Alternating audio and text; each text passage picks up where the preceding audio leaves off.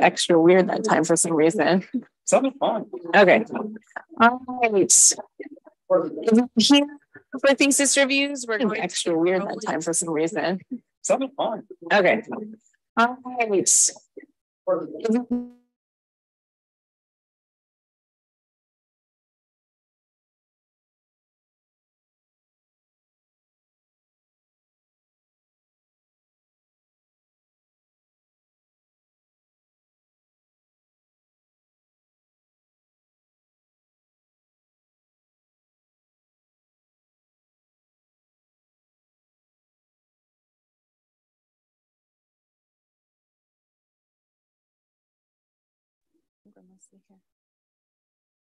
Okay, we're going to get started with our afternoon session. Um, but before we do, I just want the jury to reintroduce themselves. Lots of people are coming and going. We have new jury faces and new people uh, with us. So we will start right here with them. Uh, hi, I'm Devin Perkins, and um, I was associate principal at Hickok Cole for 14 years, and I just retired last year. So I have plenty of time to come to these reviews. I'm Bill Bonstra. I'm a, a 1983 BARC here uh, at Maryland. I uh, have a 35 person firm with my partner David Haresign and some good people. And uh, I've uh, just stepped down as chair of the Board of Visitors here of uh, alumni, and uh, I did many other things here at Maryland. I have a scholarship, a terp Terpstar scholarship as well. Nice to be here. Hi, everyone. I'm Mika Yamaguchi, and I am currently working with ZGF Architects in DC. Hi, everyone. I'm Candice Maloney Franklin. I am currently working at To Be Done Studios. Nice to meet you. Hi, everyone. Dana McKinney, a design critic at the GSD, and then also a co-founder of Enfold Collective. Hello, everyone. Um, Portia Strahan with Palm Studio Architects and former professor 400 401 um, at University of Maryland a couple years ago. Thanks everyone for being here and we'll turn it over to Ben.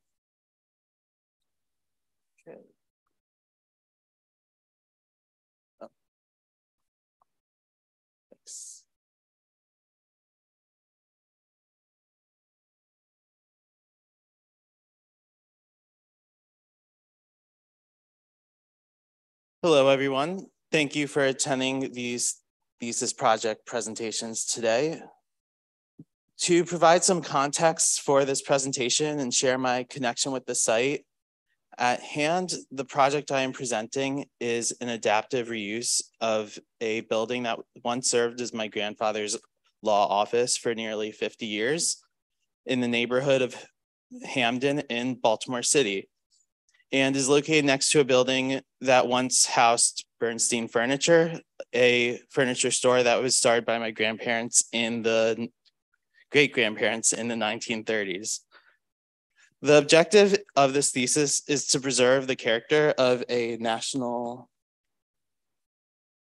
of a national historic district through the creation of a center for preservation craft using a historic main street structure. The National Historic Districts have limits as to how much can be protected, largely against government intervention. But due to a lot of like homeowners and residents in a historic district not having any government intervention, they have free reign over the facades of their buildings. So the thesis location I chose to work in is Hampden, And Hampden is a National Historic District without local designations. So there are a lot of homeowners who are changing the facades of their houses without recognizing the historic context of their neighborhood. So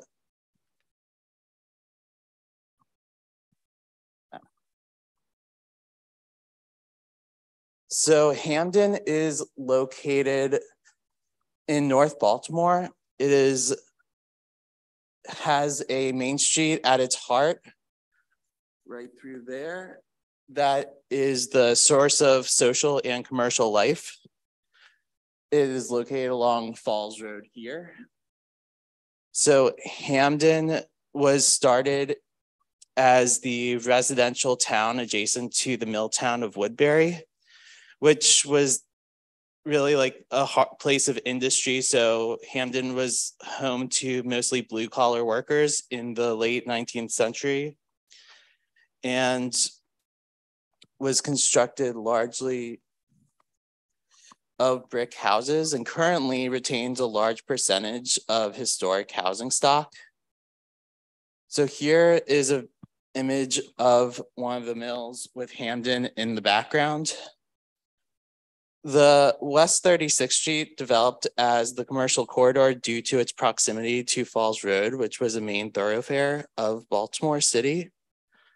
And it developed as such with a large amount of brick structures surrounding it due to the class of workers in the area living there. One of the features that developed in the mid 20th century was formstone cladding on a lot of the houses due to its giving a stone-like effect on the building stock. So it protected some of the more vulnerable brick structures, but also provide a level of distinction among the homogeneous brick row houses. In the late 20th century, there was, sorry about that. There's a level of disinvestment, but by the 90s, there started to be a new class of people moving into Hampden with a high amount of young professionals who started to renovate the homes they were moving in. In the book, The Baltimore Row House, Mary Ellen Hayward and Charles Belfoure discussed how gentrification could be seen by the removal of formstone on historic housing. So that's one of the issues I want to address. The overall key site project is to create a center for preservation dealing with issues such as removal of formstone, but also restoring the existing housing stock so, so by the homeowners. So this will be achieved through the creation of three main spaces in the center, a wet restoration space, a dry restoration space, and a digital preservation lab.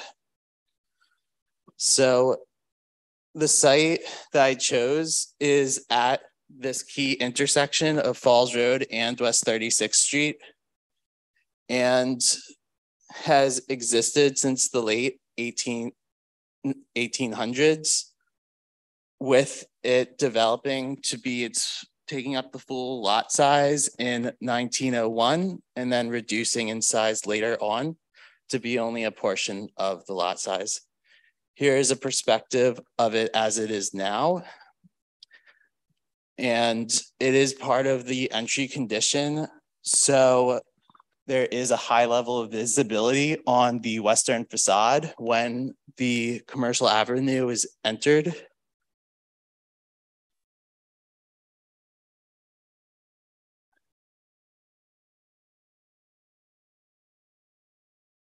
The current structure stands with a storefront with the entry that is a replacement of the original storefront.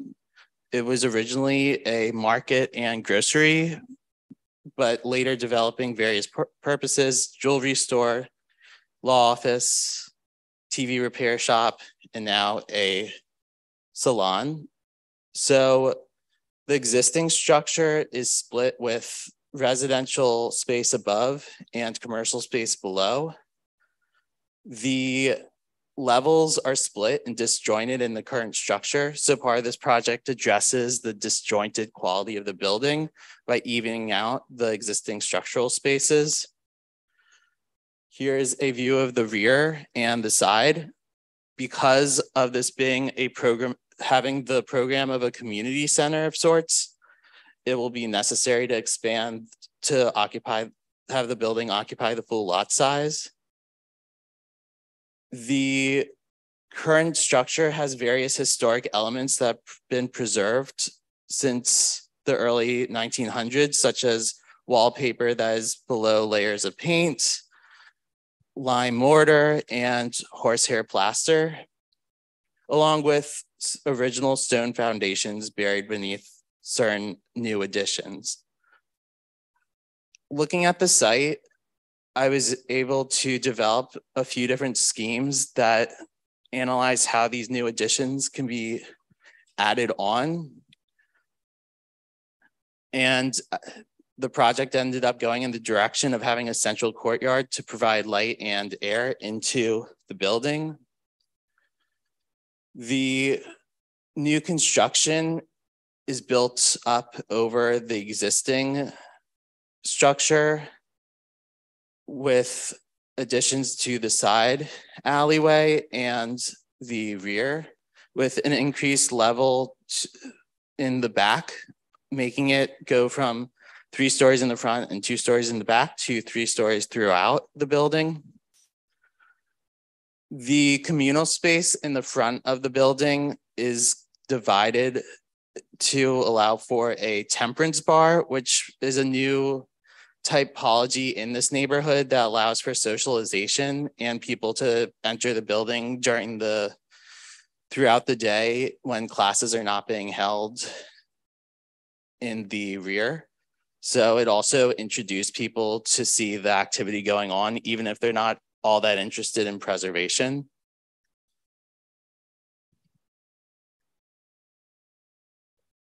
So this modified facade has a sim simplified stepped flat roof with glazing breaking up the new structure from the old. And an application of a formstone like material will be applied to kind of provide a new sense of entryway. This area will have the a corner condition that is altered to reflect a more commercial nature to the building at the front portion and and a storefront entrance to provide a higher level of visibility than what is existing.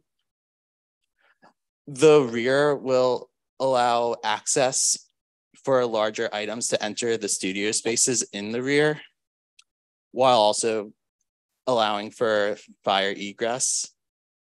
And on the roof, there will be a sol series of solar panels angled to capture the light, eh, turn it into energy, along with an extensive green roof for insulation purposes in the rear. The overall split has the of the building has the working spaces in the rear with a courtyard dividing them from less um, extensive activities. So the computer lab, offices, and temperance bar at the bottom portion. The, the first floor has the a double entry one side allowing it to enter, have the stairs be, to have people enter and go straight up to the second floor and access the digital lab and the dry studio, while on the other side, it's an easier access to the temperance bar and or to have a straight shot to the rear wet studio. So this is a view of the temperance bar, which can be reconfigured based on the needs and activities going on. So if there is the need to host a larger event, the bar can be split up and rearranged according to the occurrence. Here's kind of a view of the rear of it before transitioning, which is adjacent to the courtyard. And here's the wet preservation space, restoration space in the rear, which contains modular desk units and storage bookcases that can be ran along a track and be adjusted to the needs of the studio space. So the overall space can house like up to 24 people if necessary, but can be reconfigured so you have a set of six desks that a student can have access to individually. So you have this versatility to how the, space is being used. This space largely would be used for teaching about plaster work, repointing masonry, and refinishing work, mostly minor, like nothing too extensive or hazardous. This is kind of more of a what can the homeowner do with their property without extensive res- extensive amount of intervention. So now we move on to the second floor where a large the portion over the temperance bar is occupied by a computer lab and the rear is the other studio. The computer lab is also set up with desks that can be built up and built down depending on the needs of the building. And the dry restoration space is mostly for woodworking, but also can be used for regla- reglazing windows and working on ornamental details. The setup is similar to the wet restoration space where there's a modular system for desks, but it's limited in having the capacity to only handle a dozen students at once due to the necessary requirements of such activities being held there. And here's another view. There's a mezzanine on the third floor that that connects to the administrative offices and allows for administrators to get a broader look onto the activities being held here. And here's the third floor kind of showing how that mezzanine connects to the offices. The offices also have an access to a balcony seen here that looks over the courtyard. So there's this level of being able to monitor the activities being held within the site. And yeah, here's probably hard to see on this monitor. Um, but in conclusion, this project aims to would aim to reshape how preservation is perceived through its occupancy along the main street. So currently there isn't much of a culture for preservation in this neighborhood. And by having this be in a central location, it would introduce the subject of preservation to people and hopefully invite them in to see the activities going on. Um, I am looking forward to your questions. Thank you. a little bit about the operation. Um, oh, do I need that? Hello. Uh, tell us a little bit about the operation. You're, uh, this is a craft studio to expose residents and others to the benefits of preservation. Yes. And they'll be able to come and see these processes happening while you're. Yes, there's the high level of glazing outside the classrooms will allow for a level of passerbys to see the activities going on. There is a high level of, uh, there isn't a high level of transparency current, currently in this building. And it's important that as a gateway building to the avenue, that people can have a welcoming site condition. And having preservation be that activity could have a big influence on the neighborhood. You walk through the materials on the facade? Yes. So, so the ex, I guess this kind of breaks it down where the existing brick wall will have the paint stripped and be repointed, while a new surface coating of formstone will be applied. This is kind of going off the notion that the removal of formstone is a sign of gentrification. So by having a building that has formstone applied to it, which I do have a drawing here that kind of goes over the technical aspects of what that could look like in a way that doesn't damage the historic fabric. So this is kind of helping to reshape the perspective that people have on formstone as not necessarily not necessarily just like an ugly application, but something that has a history to the culture of the neighborhood. So is it like a veneer stone, like just a thin veneer Yeah, with well, or is it like a precast? it's not precast. It would have to be formstone has historically been sculpted by hand onto the building, onto buildings, and then tinted as an exterior layer. And then sometimes a mica kind of spray is added to it to give it its like glistening effect. So it would have to be, it would be a sculpted element. Then talk about what is the material above the brick? Oh, so a glass curtain wall would kind of frame the historic bricks frame, the brick structure. So that's all glass. Yes. Okay. I was having trouble telling whether it was metal panel or glass. Um, just, you know, interpreting what that materiality was. Okay. So I can start, or you want to start? So thank you for the incredibly detailed drawing, but that's also what's going to get you in trouble. just kidding. It's not, not, not getting you in trouble, but just thing, things that I react to.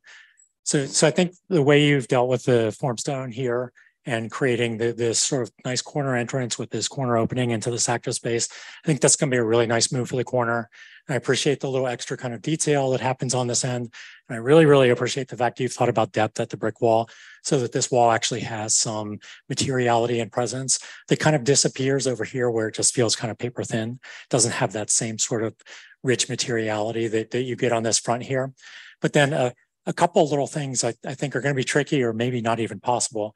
Um, because of the width of the sidewalk, I don't know if you're going to get a legal sidewalk that's uh, the width here required in Baltimore. I mean, that's really tight here. I don't know how deep this sidewalk is, but it looks like it's only like 10 or 12 feet. So I don't, I don't know how, how, if you'll be able to get those stoops, maybe you might have to set back the facade some to really get access.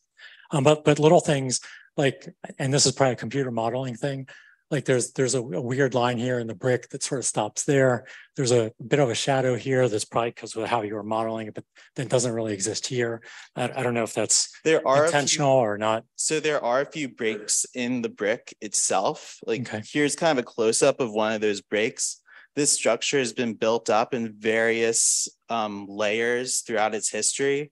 So at one point, I'm guessing around the 30s, the whole facade was replaced, going from a three, having it be a two floor structure to being three floors, but not actually gaining all that much height to it. There's and then there's also been this piece was built on later, probably around 90 the 1990s is my guess. But it was never fully complete, being just a masonry wall, but having a wood structure connected to it. Okay. So, so let me give you my three comments on the facade materiality and then I'll pass it on.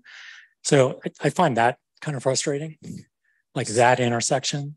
Like I just, you know, if you're going to do this material, is there a way to just let this material, maybe you pick up that line and bring it across, maybe even it has to step to this line. But I find like that intersection where you've done this nice materiality, I, I almost wish you just brought the brick down and, and didn't have this, Well, that's this fourth the materiality there. existing foundation does is expressed above. So that that's kind of representing what is there. So it'd be difficult to replace foundation elements.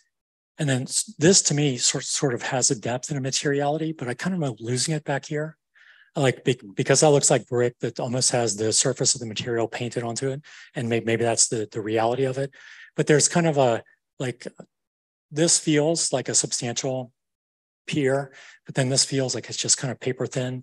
I don't really understand, like, you've made this end really, really important and it's a corner, it's a major intersection. But then the alley side, you've kind of taken that same material and done it in an even more dynamic way. So I'm kind of like think, feeling like this almost feels as important as that.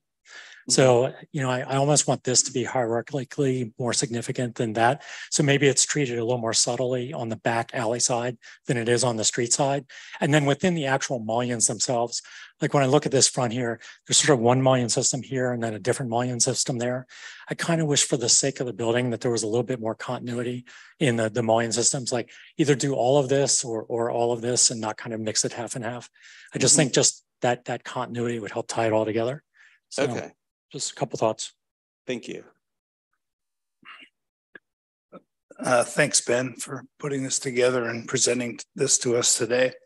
Um, I just want to talk a little bit about sort of the fundamental idea of the building and um, some of the things that I see that you've done positively and maybe some ideas on how you could expand this into something a little more. Um, I really appreciate the legacy of this building. You want to um, restore it for, you say your grandfather Yes.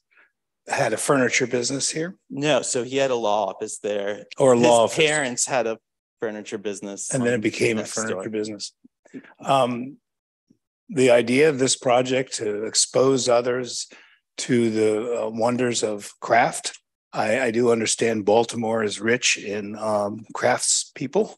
I've been meeting them, uh, whether it's for stained glass or whether it's for uh, turning wood dowels and things, all well represented by the craft industry or craftsmen in Baltimore, which I admire. And I think you're off to a good start.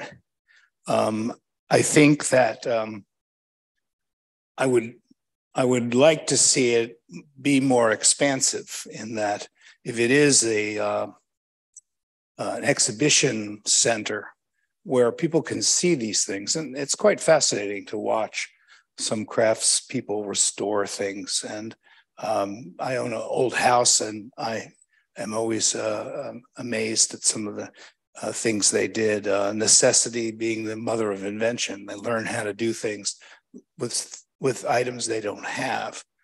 Um, I wondered if you could have expanded this across the block a little bit Yes. more. You have a center here. You you have an alley condition. Um, at first, I thought it was a corner condition with two streets, but it's an alley. So uh, as an alley, you have the ability also to perforate the sidewall and um, people could come through it or, or something.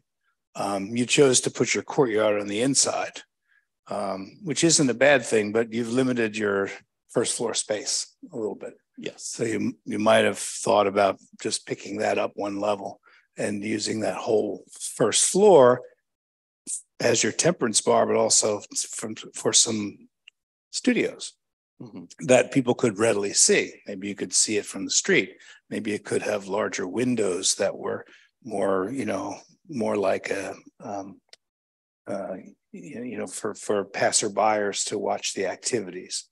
Um, many years ago, I did the studio theater and I put a box lifted up off the ground, but that was a big exhibition space where it was the nucleus of the building.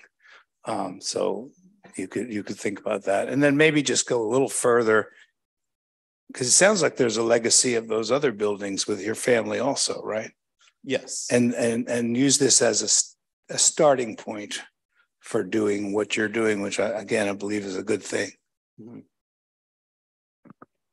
So part of this project was an intentional limit in scope so that it's addressing the neighborhood rather than the city at large. Because there is a distinct flavor to each neighborhood and the culture surrounding them and the way people should and ha- handle their building stock. So this isn't so much as for people to get an in-depth, intensive understanding of preservation work. It's more of a introduction type of building. It won't have the same, if it's too big, it can be intimidating. This is very much an introductory. So people learn how to plaster over cracks in their walls rather than learning ornamental plaster work. Hi, um, thank you for presenting um, and really showcasing um, lots of layers, even adding furniture and kind of detailing it out. So I appreciate that quite a bit. Um, a few thoughts that I have. Um, you mentioned maxing out the site. Obviously, this if this is really a historic kind of site, we have to really. Did you do any research on whether you're allowed to maximize the Yes. site? So this location is C4 zoning Mhm. and it's the current zoning allows for there to be if there is a requirement of if there is a rear yard, it must be 20 feet deep Mhm.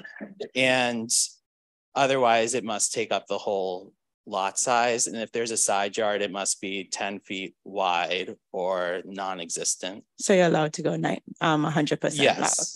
Okay, that's great to know.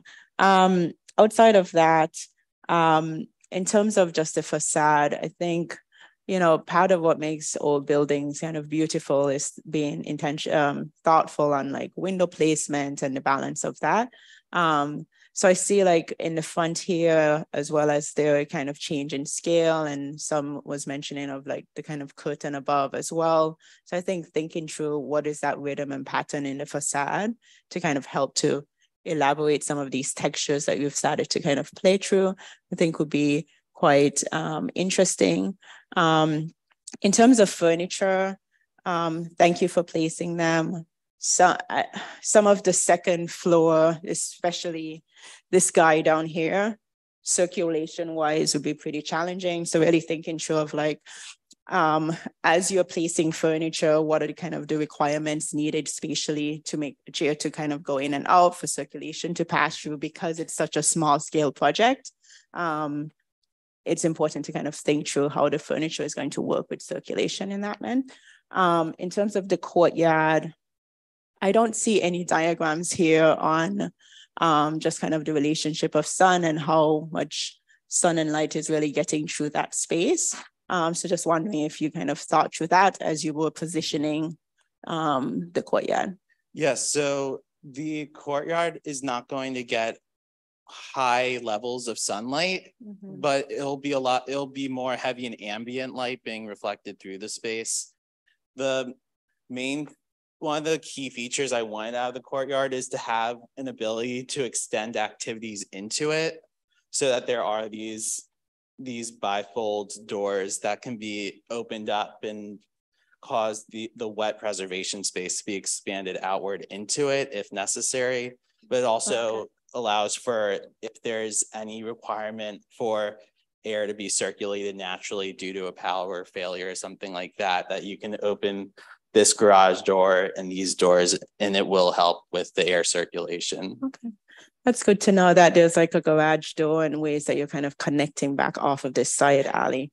Um, because it's such a long facade, I think thinking through of how you're really connecting back to the outside um, is important to kind of break up that facade as you start to kind of develop openings. So I'm glad to see that you kind of have that in the back and started thinking through that a little bit. Um, but overall, thank you for um, your passion of trying to kind of talk about something that um, is really hard in cities of how to develop in a thoughtful way. Um, so yeah, Yeah, I second that. I really appreciate the sort of family narrative and I think the personal touch, I feel like brings the soul to your project that I don't think is often found in theses. Um, one thing I was just wondering about is sort of the flatness of the facade uh, and adding, you know, the new versus the old.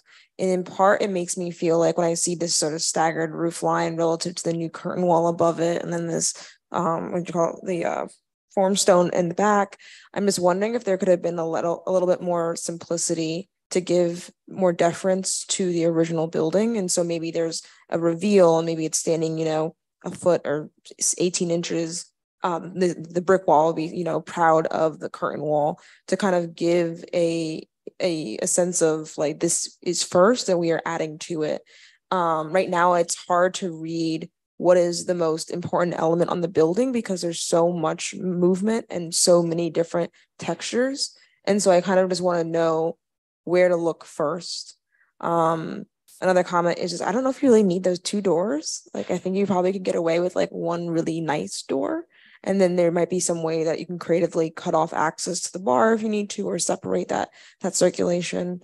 Um, I feel like also in terms of the simplicity, maybe Formstone is representative of old or the formstone and brick are old and curtain wall is new. And so maybe you don't need that formstone in the back at all. But I think there's some like uh, ways in which you can kind of calm down what you created, which I think you've done a lot of really cool elements, but to give people a priority as to what to look at next. Um, yeah, that's it for me. Um, I had a lot of notes and comments. Um, the first, the the the program is very interesting to me. I think um, so. Whenever um, we approach historic, whenever architects are working in a historic area, we're given these like guidelines, and I think it would be great to have those guidelines actually take um, you know, go to a place where you can actually see some of those things actually in in real time, how people are res- restoring things and um, and, and things like that. Um, I think what what would have been um, really interesting, or what what of these historic details that you are keeping and preserving of the building, like identify doing your own analysis of um, whether it's the cornice or whether it's the, the the sills at the window or the, the the coping line that you that the roof line that you kept these certain um, existing aspects of it that you're um, um, logging and kind of understanding how do you kind of merge the the old and the new or preserve um, what's old and new. Um, the other thing um, programmatically, I as soon as you mentioned like this wanting to be a place where you want um, the public to get a better understanding of, I almost want to reverse your bar to the top.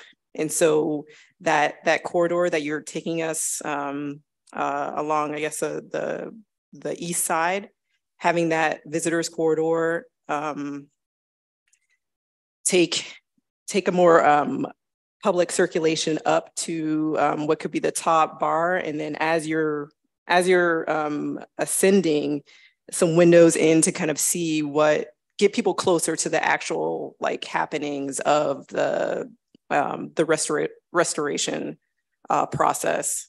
And so maybe considering flipping those two um, and even I, I, like Bill's idea about uh, pulling that that um, possibly pulling the courtyard to the outside because again you you're, you're creating more surface area that people can kind of by happenstance kind of peek in and look at and get an understanding because right now we're getting lots of wall um, and so if we don't, if they don't see it from the outside, when you bring them into it, how can you start to expose your visitors once they get into the inside to kind of look in and see kind of what's going on um, with the program? So respond to that, the, the idea of having the bar be located on the upper, one of the upper levels was something I considered.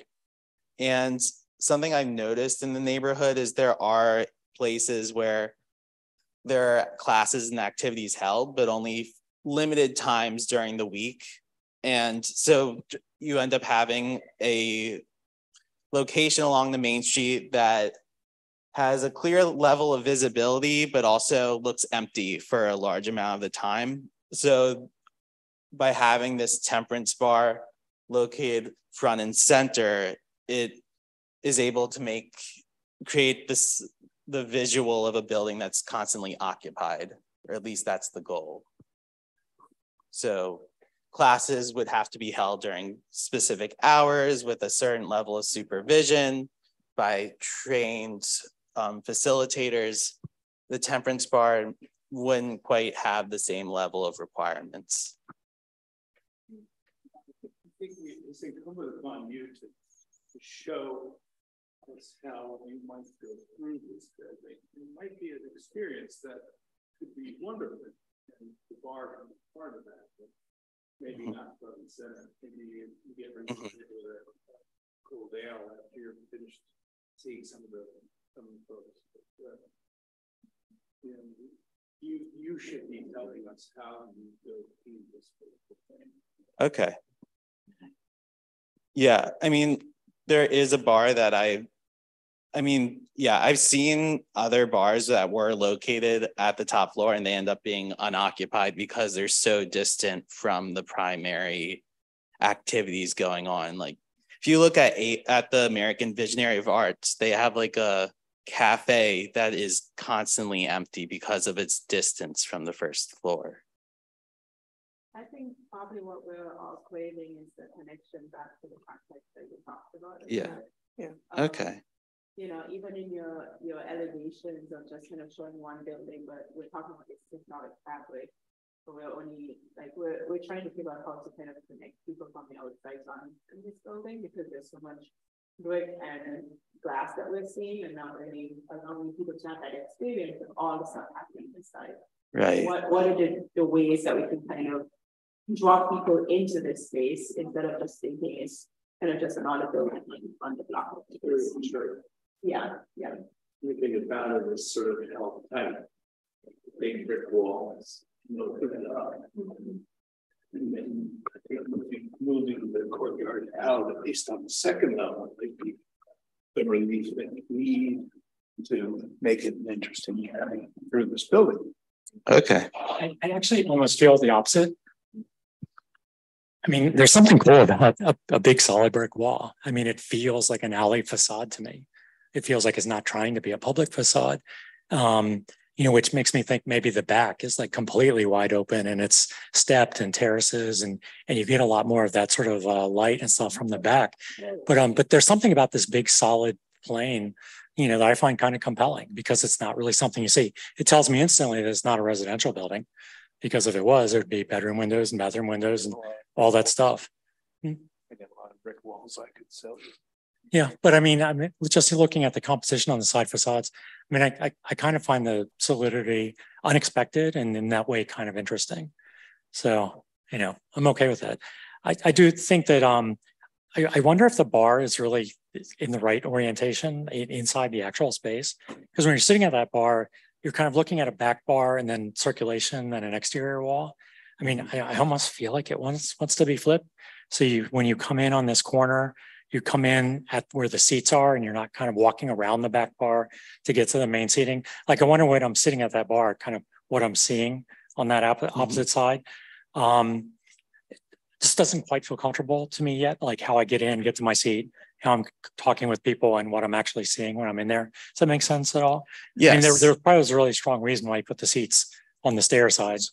So. Yeah, the the the key thing was to have a um to have like keep this corridor that goes straight back for easy access there is like the bar this bar is kind of set up on with modular units on wheels so it can be rearranged based on if there is that requirement like because there's kind of that aspect of like it's one thing to have it drawn out but to see how people actually are using it is a different matter so if they find that this is a setup that needs some adjustments that is possible to adjust it What I was thinking is. Oh. Like, I, I almost feel like this wants to be the back bar. And when you walk in, it's a row of seats right there that you see right the moment you came in. And when you're at that back bar, when you're at the seating looking across, you know, this whole thing could widen out if you didn't have to have this kind of two, three separate rows of circulation. It would just make it feel more spatial. So you come in and you have seats on that side. that makes And sense this is a back bar and you can pull that in uh, and, and just get it a lot more spatial and inviting. It's just there, there's three rows of kind of circulation and they're already a very narrow space. okay Um, I mean, one question I have is why the bar? Like, why did that program? And I'm just wondering if you did a program analysis of the neighborhood. Does, did they need a bar? Yes, so this this is a temperance bar, which means that there's no alcohol being served. Okay. There are so many bars already in Hampden, Yeah. and mo- most social places do serve alcohol. So this is kind of the idea of oh, this is an alternative place for people who don't drink or don't feel comfortable being around alcohol can go there. Mhm. So, but it also can function as a coffee shop, which there's kind of a congestion of the already existing coffee shops in the area. Yeah. So, I mean, I'm just wondering because I feel like I'm a little bit familiar with the neighborhood and I- feel like there are already quite a lot of these types of spaces.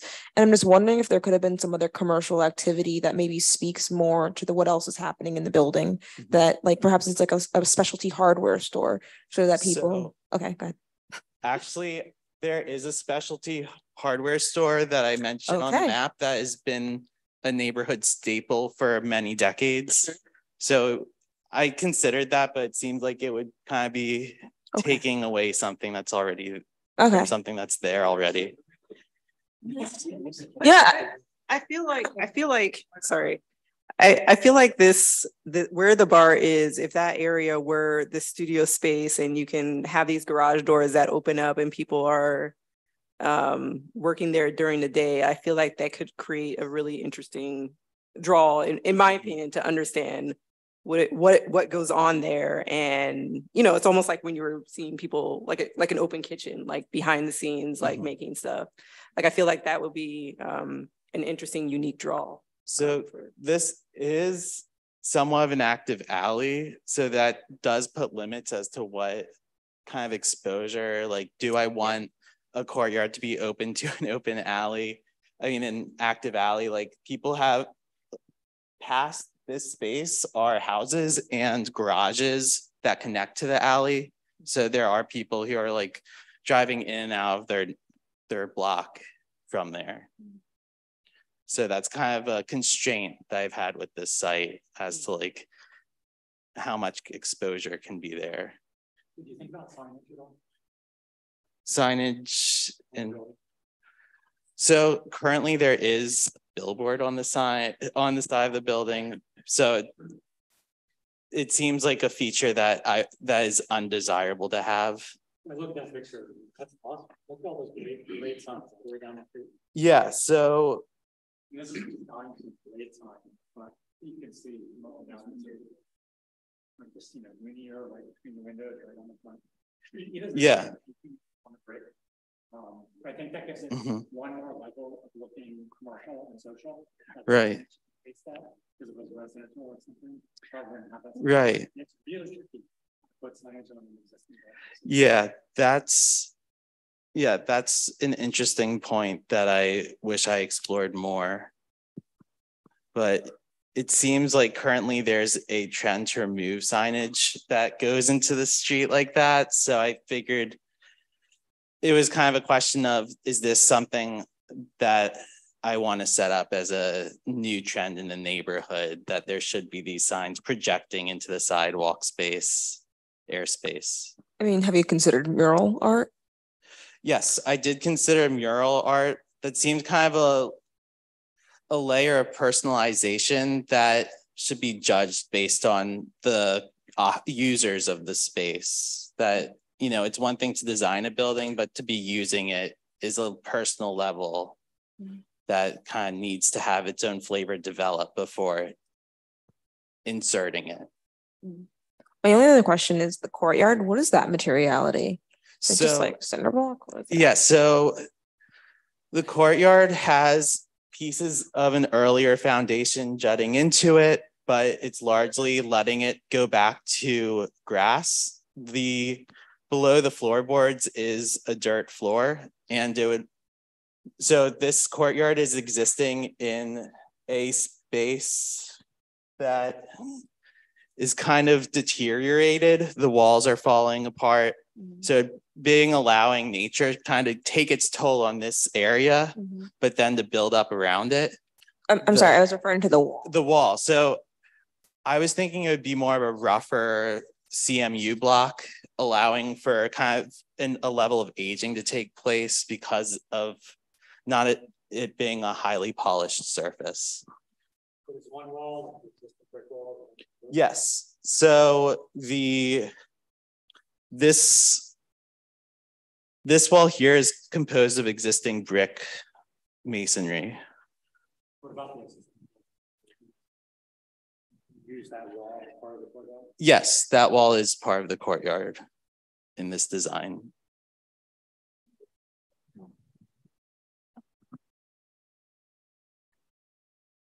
I just want to speak about the interior and historic preservation kind of only applying to the exterior in a lot of, I mean, this is just kind of how it's done, where it's all about neighborhood uh, look and feel. So it is more urban context, but I always question whether we, um, like were all the existing walls newer of a newer generation? Like they are unimportant or do not inform you of Yes, anything? so the existing walls are the existing walls are large seem to be the interior walls are of a newer fabric.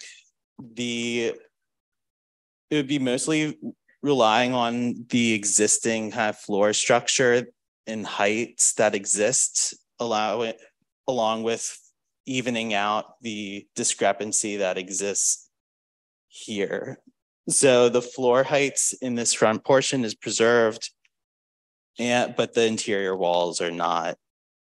Would you be replacing the floor with something that resembles the joist that was used? Like, is there anything to study there? Yes, so there is pl- plenty to study. The the floor joists are in in this portion, they are in suitable condition where they, they could would probably just require a little reinforcing, but they could be salvaged and reused.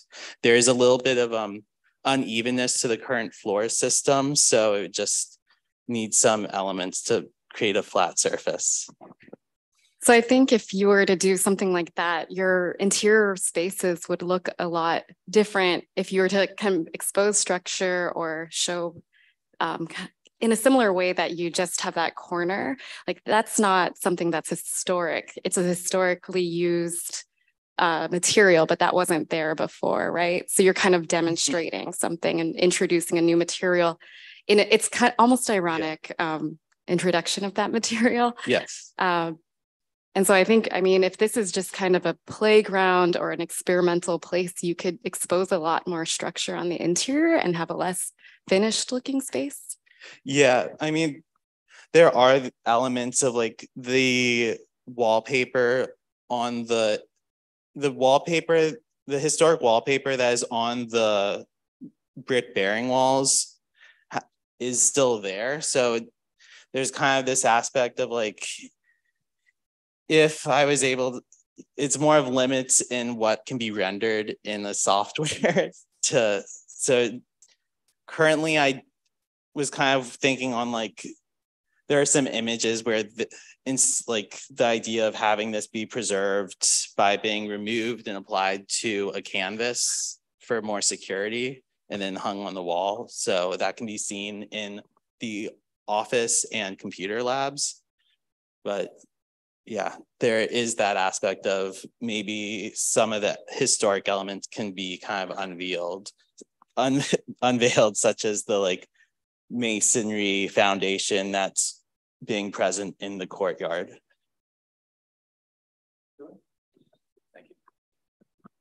Hi, Ben. Hello. Uh, it's been a, a been a long and interesting journey, and I'm so glad to see your project come to fruition.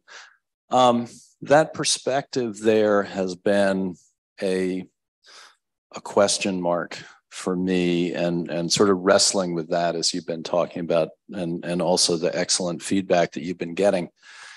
Um and in particular i appreciate kind of the irony of the applied new old uh stone. I think there's something you know provocative in that. Um and yes i am thinking a little bit of uh, some of the Venturian uh, dialogue that occurred quite quite a long time ago. However, um, in terms of the tectonics of your project and sort of the syntax of your project, the thing that's giving me the most pause at the moment is your glazing system. Mhm. Um, you know, I wonder whether the meter of that glazing system has something to do with the internal structure or is it is it marking something in a modular way? That's sort of a question that i would normally ask. Um, and i'm not sure i can discern that. But the one comment i would have is i, I wonder whether a little bit lighter touch where the glass system uh, comes and interfaces with the brick would set off the brick surface as an object because you are featuring it as as a wall that contains a lot of history and a lot of nuance.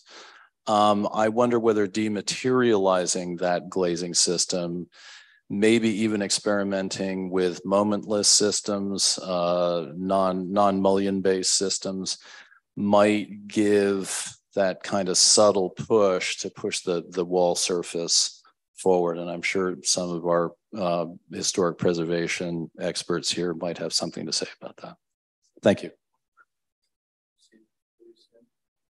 Minokin. Yeah. Right, right.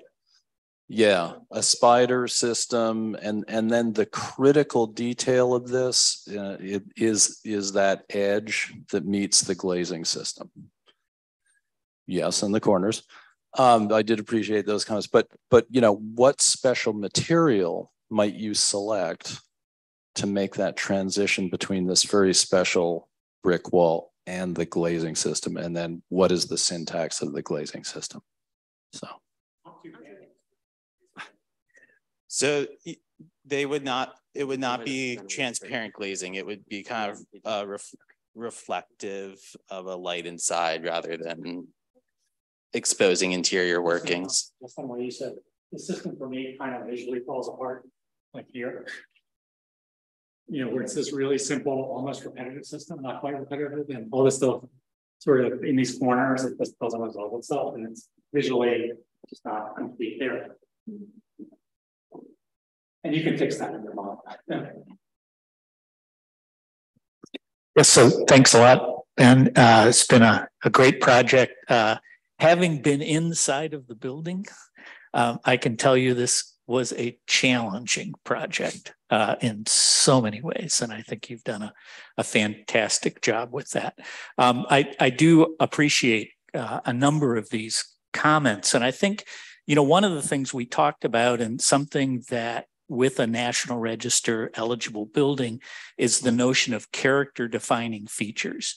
What, what is it that, that made the building what it was?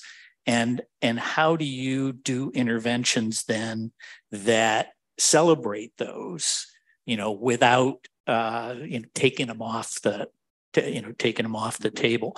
Um, so for example somebody was just pointing out the cornice there i think i think there could be ways to to make that cornice pop a little bit more the historic cornice uh, of right. of the building maybe it's actually pushing that glazing in and and just doing a simple molded brick almost like a water table in a 18th century building um, just to push it back give it a little so so you don't have such a flush wall there um, to, to just help you see and peek at that outline of the original roof and, and cornice. Um, so some things like that. Uh, I, I think I also agree, and we've also talked about this, that the formstone at the back, I, I think it sort of takes away from what you got going at the mm-hmm. front and it sends a mixed message, but that's that's for you to play with. And I still think a nice big painted sign in the middle of that flat brick wall, a historic painted sign, uh, you know, whether it's advertising your building and its program or whatever, uh, would would to me would be the piece de resistance. But uh, great, great job. Really, really have enjoyed this. Again, congratulations, Ben, on getting to this level, seeing being part of the team that saw it through here. Um, I'm actually going to take a little bit of a different perspective from Donald um, and Sorry? Oh, that's me.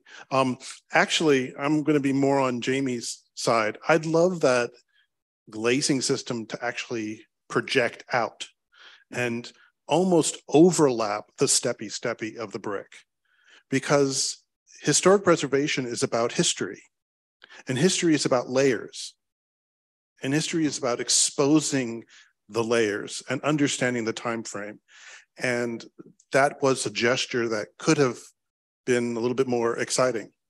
Um, also, overall, in terms of the design of the exterior, um, I'd love for you to be bolder. This is sort of a master's mm -hmm. thesis sort of statement and not just a regular studio response. I would love your gestures to be bolder and your future to be bolder and more emphatic. And the fact that a lot of your gestures are very flat is confessing your hesitancy. So the cornice in the front turns into cap flash, you know, of the other step where it, could have been more. Um, one of the big things that we had talked about in terms of formstone is evocative of the Renaissance Bramante's rustication of Italian villas, and that's great.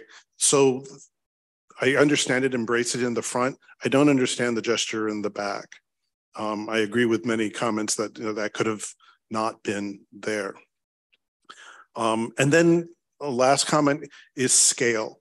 So again, the mullion system that you've got shown is more evocative of a building four times its size.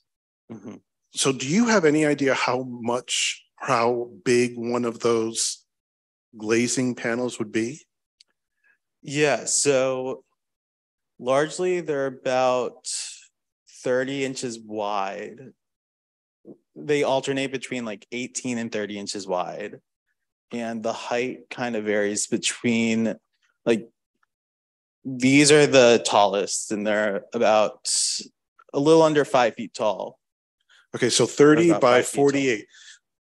If I could ask you to give thought to being a window cleaner and having to clean in those small little mm-hmm. panels, that's a gesture that it could have been. That's why when I'm reading that perspective, I feel like the building is tremendously sized. And knowing Hampden and being there with you across the street and looking at the building, the building is more dwarfed. And um, there's that. And, and as we had talked about, it's the gesture of this is the gateway going east from Falls Road, that major north south artery in Baltimore, and then turning along the avenue. And this is the front building on the north side. Is is the way you've approached it heralding this avenue as much as it could have.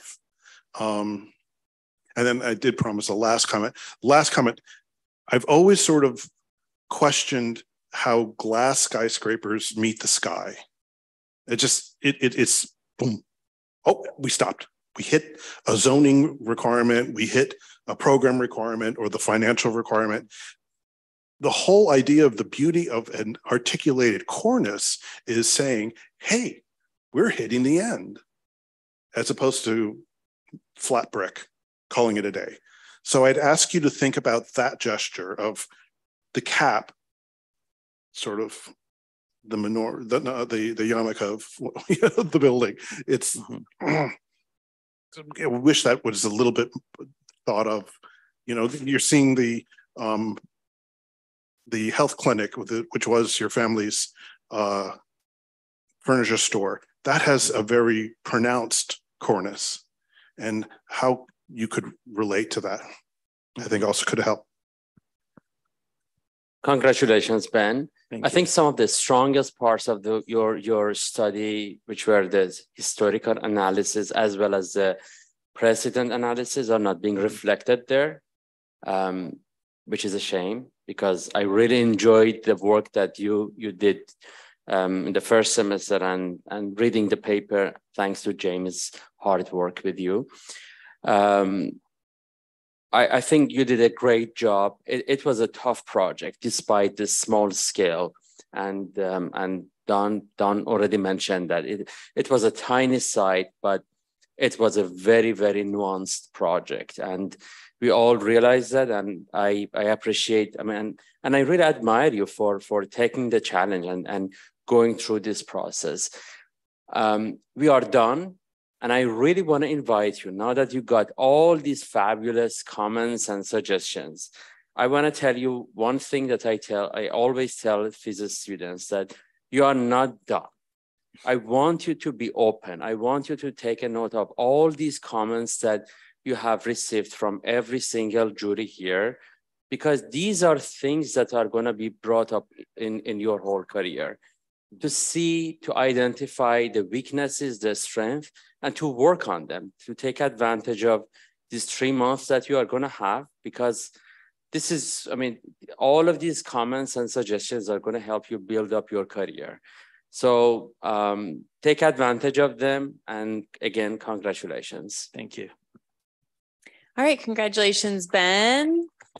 We're gonna rotate, we're gonna rotate 90 degrees to our left now. One minute. Since we ran out of time. You're doing glass walls like this?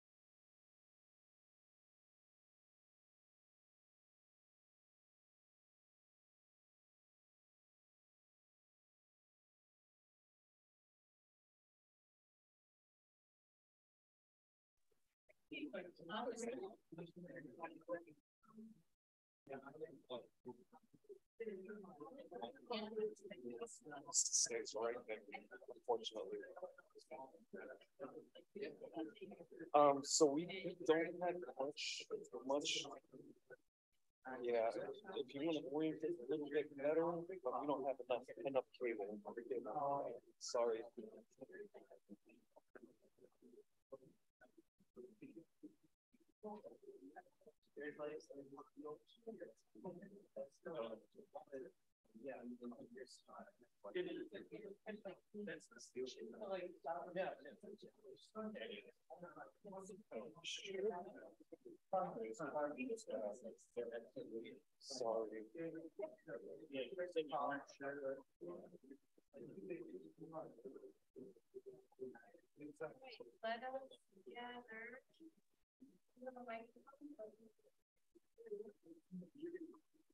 Hello?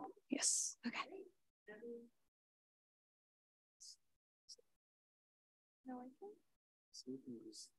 Oh, just the keyboard? Okay. So, um, hello, everybody. Uh, my name is Christy Santana. And um, first, before I start doing my presentation, I really wanted to thank my professors that had helped me throughout the semester, uh, Professor Williams and Professor uh, Brian Kelly, as well as Professor Abrams. Um, and also, I wanted to thank my family that also has helped me uh, go throughout this whole journey. Um, so, okay, so first, um, the title of my thesis is Light Function where it's exploring the use of light in instructional spaces. Um, light is essential for understanding design as well as living and working in the structures. This thesis will investigate the programs, different lighting strategies, and typological precedents used by design schools. It would also study methods of capturing, rerouting, darkening, and framing natural light. And um, because due to the amount of time students spend in the school, it is essential to design primarily for the visual requirements of the users um, and their expected functions inside a given space. And this is because schools may serve as a student's second home. The site I chose to elaborate my thesis is actually this building, the Architecture School of the University of Maryland. Uh, I'm proposing to redesign the whole building and fulfill the needs of expansion that we're currently uh, going through.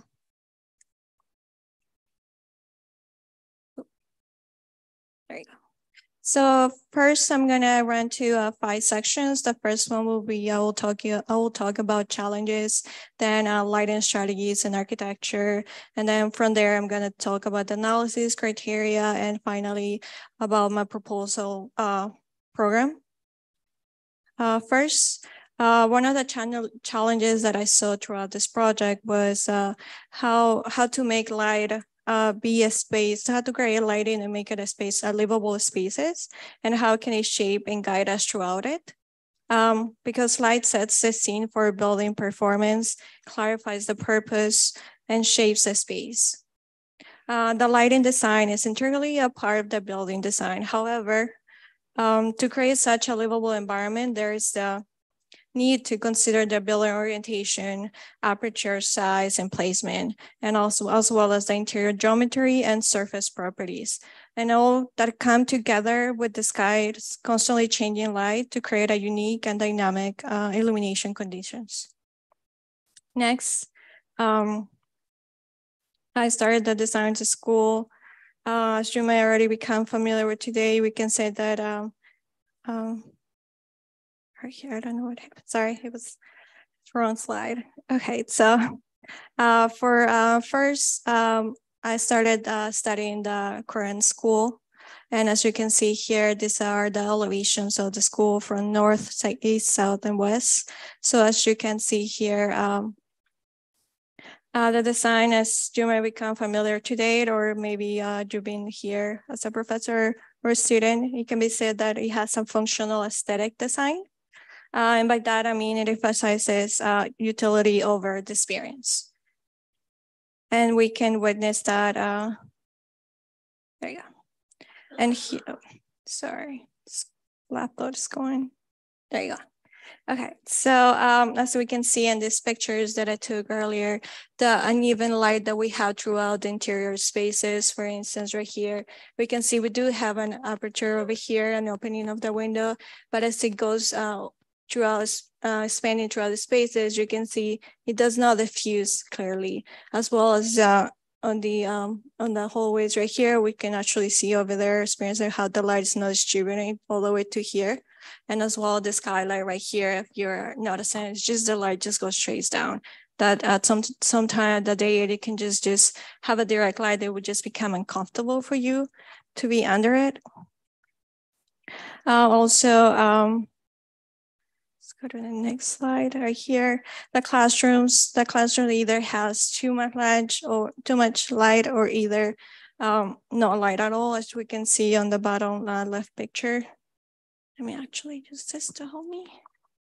Okay, so we can see here, this uh, classroom right here does have introducing a lot of light in this area, but however, we also have this classroom that has only small opening, but then at the same time, on the front of the, the classrooms has this darkness. So um, as well, here is the great space where you can also see how the light just directly goes down, but it does not expand throughout the spaces. Over here, uh, we have two openings in this classroom, for instance, but uh, you can still see the darkness. So uh, there is a need for artificial lighting throughout the building. And from there, um, I started working on a couple of sketches um, to do uh, charcoal drawings and uh, to have or to study different daylighting reflections. And this helped me to better understand how light diffuses across the spaces and what function it might serve or become to create an artful light in the solution. And also uh, did a couple of uh, models study models that you can see it on the table over there. Um, let me go back to this slide right here. Um, here where you can see or and see how the reflection of light changes throughout different apertures. For instance, right here, there's just a small a square opening, but uh, introduces this 3D lighting experience.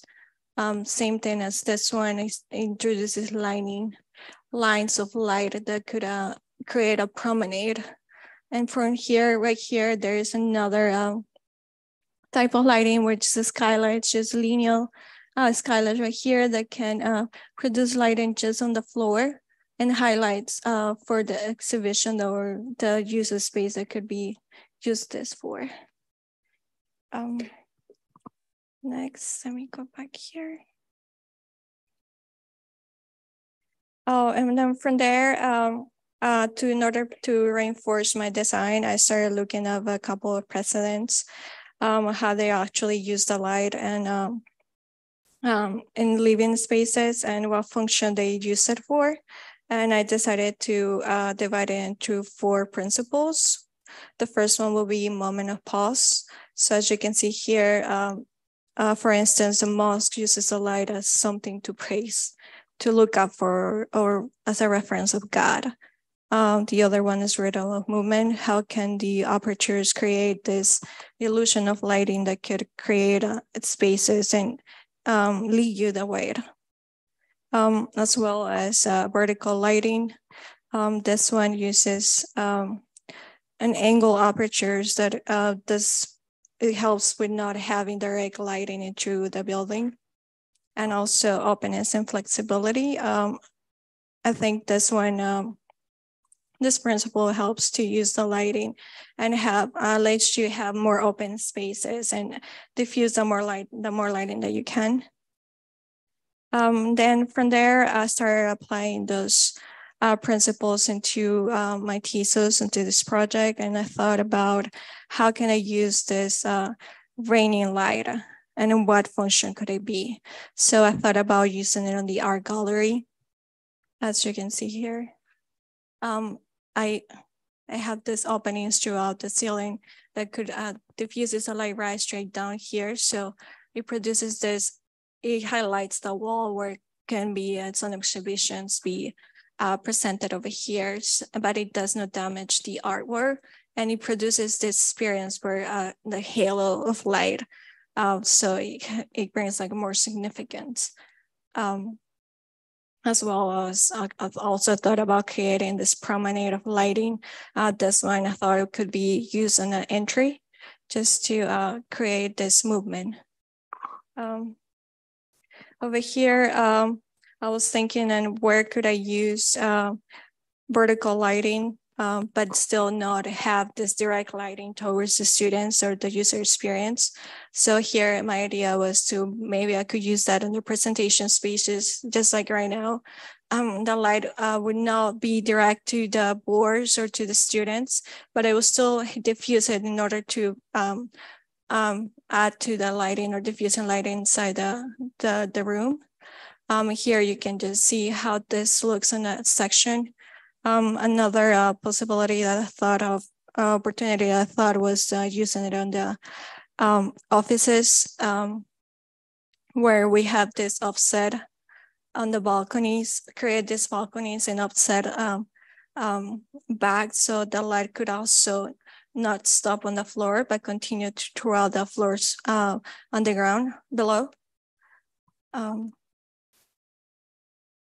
over here, uh, there is another uh, technique that I found that I, I, wanted to use it on, on the studios where it's a clerestory windows um, that forms this um, rhythm of movement. But at the same time, um, uh, in, introduces light into the spaces, but also allows the students to have this open area to gather together and also uh, leave a space for our presentations, for our boards that we have throughout our classes. And here, um, I also thought about um, having this small gathering presentations that opens up more um, gathering throughout the students and the professors, and also having more privacy when um, uh, the, the presentations that we have, but also in, introduce the lighting that would not affect uh, the conversation or, or the activity that it's happening. Also, uh, for the offices, I thought about having this skylight over here and introducing it with this enclosed area, which is the indoor courtyard.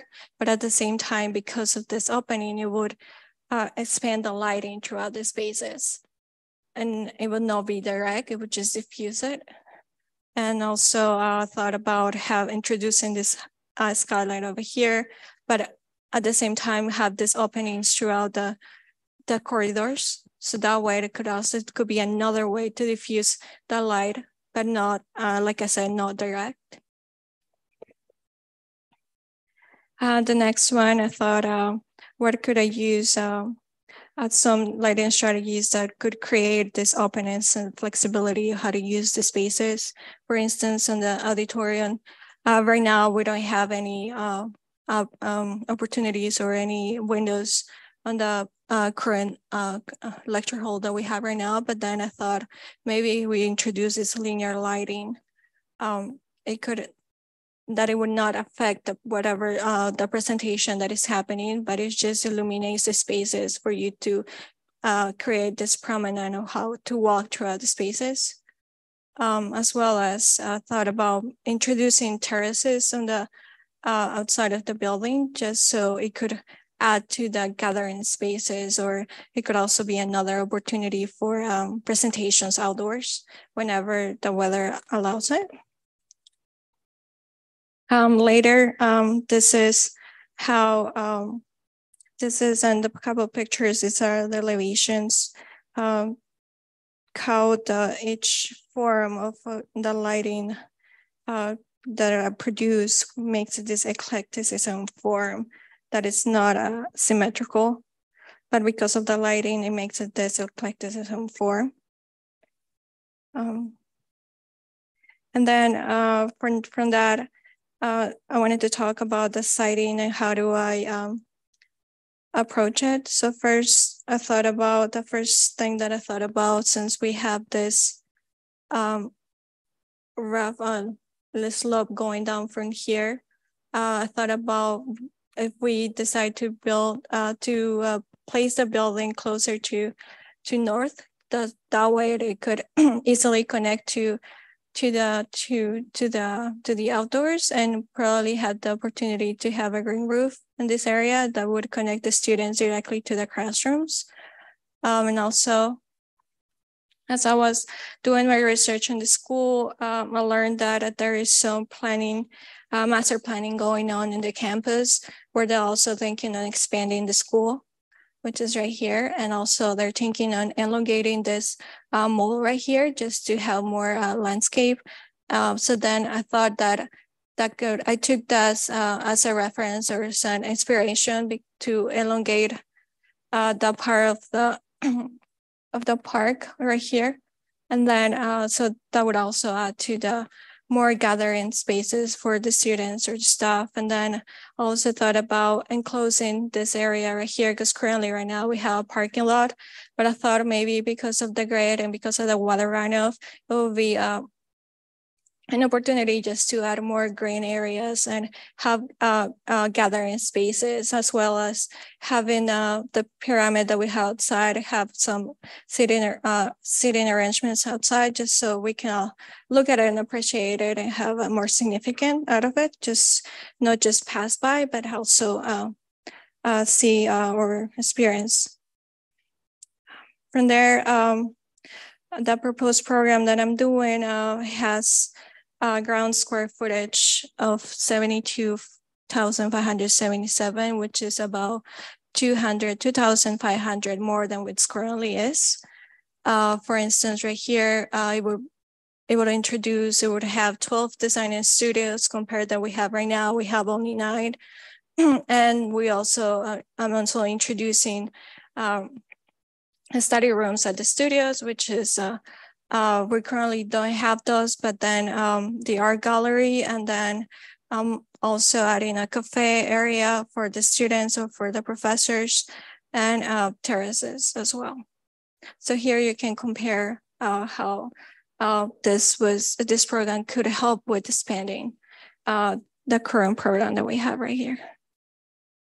And to take a closer look to the floor plans uh, right here, uh, we have four, four, two main entrances right here. This is uh, egress uh, stairs right here, and this from north to west to east. And uh, for this this area right here focuses only on the creative uh, spaces, meaning it includes uh, the studio area and the classrooms, which is closer to the north. And then also here, uh, I'm, I'm given, uh, I'm providing some study rooms or brainstorming areas. And over here on the close to the south, also I'm doing um, presentation areas. Here is when we have big presentations, just like today, we could use this area right here. And like I mentioned, or like uh, show you in the render is we're not gonna have direct lighting. The lighting will spread through here and then diffuse all the way to this area. So it will not be direct. And then as well, uh, this area will focus on the labs and the reason why I decided to have this on the west side of the building was because since students uh, usually stay late at the date or tonight, uh, this is the lighting uh, from the west is um, it stays more uh, during the date. It's more constant. Um, and then on the other side or here, we have the gallery, the gallery space, which uh, I call it this, uh, the learning, the learning um, block or the learning massing, sorry.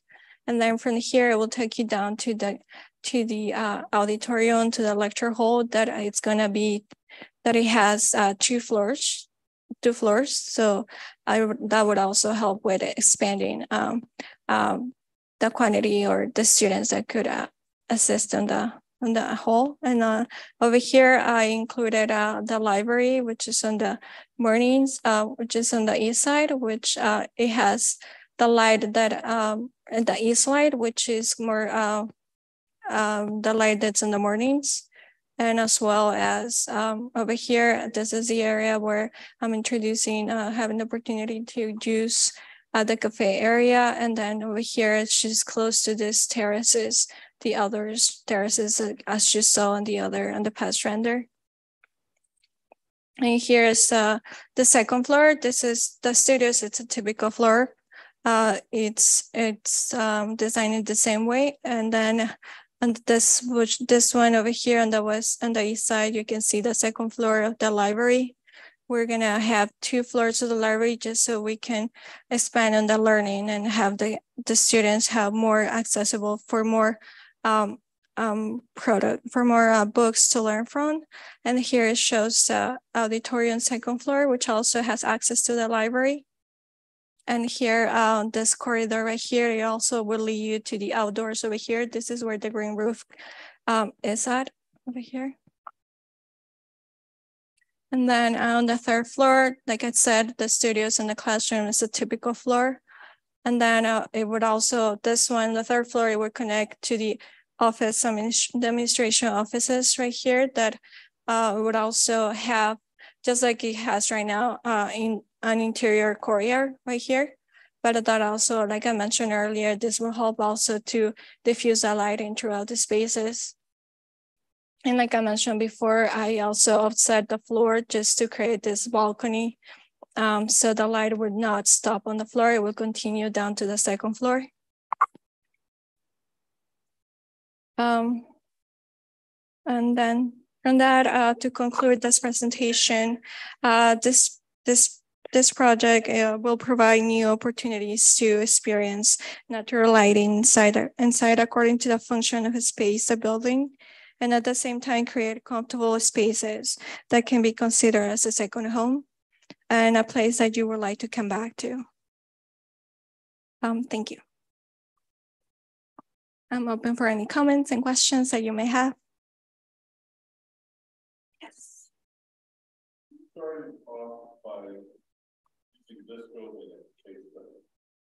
Mm. Could you repeat the question because that cannot be heard to people at home?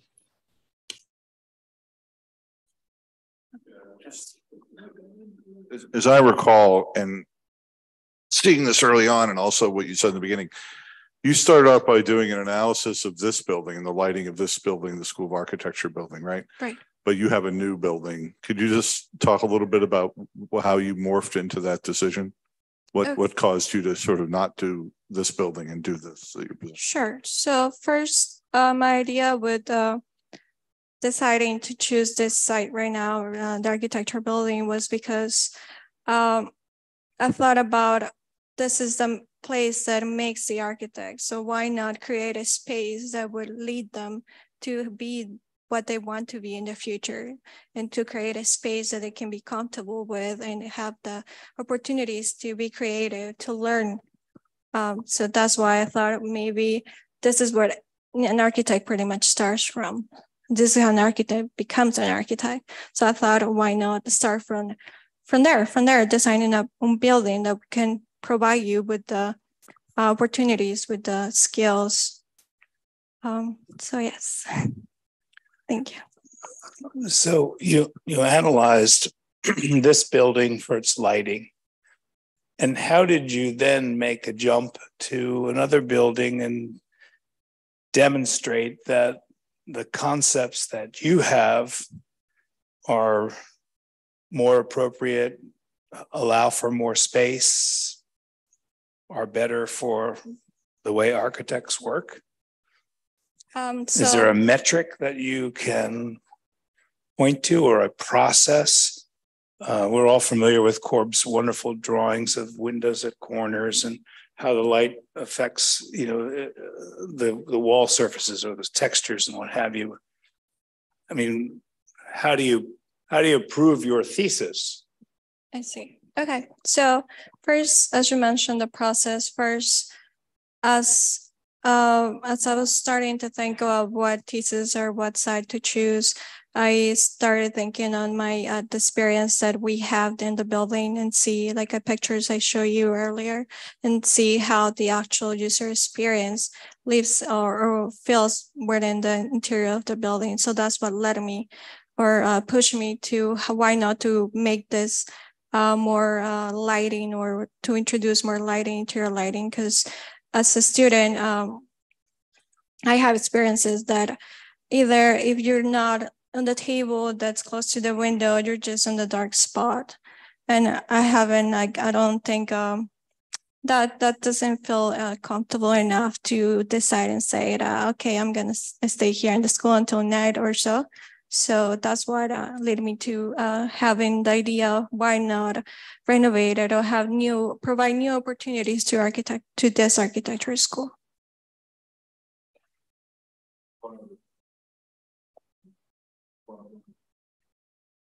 Did, did you undertake a, a study of, scientific study of the kind of lighting levels you need in various situations, like sitting at your desk or sitting in a library reading a book or walking down the hallway? Has that been part of your study? I don't see it up here, but sort of like, well, you need this many foot candles or, you know, lumens or whatever it is in this area for this kind of task. Did you do anything like that?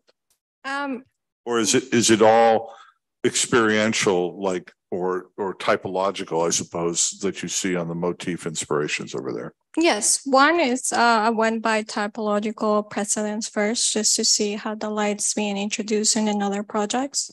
But also I wanted to take back from the user, just from the user experience. I did not do any uh, study within uh, the foot candles, uh, but I did by the how would this space will be feel or feel more comfortable with the lighting um, or the darkness at the same time and how comfortable like because I really wanted to make a building that you really want to come back to like stay. Just like I mentioned the school is pretty much uh, that's a second home for for us for the professors even uh, the students because we spend a lot of time here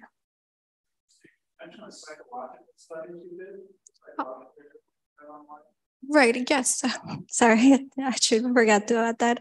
So yes, so there is some psychological um, impacts that has with the lighting. For instance, just by um, it could help you with the learning. It could also affect you on your sight, uh, on your eyes inside. Um, it could also give you this um, um, um, energy or to continue in the classrooms or uh, even uh, um, yeah, sorry, I lost my thought.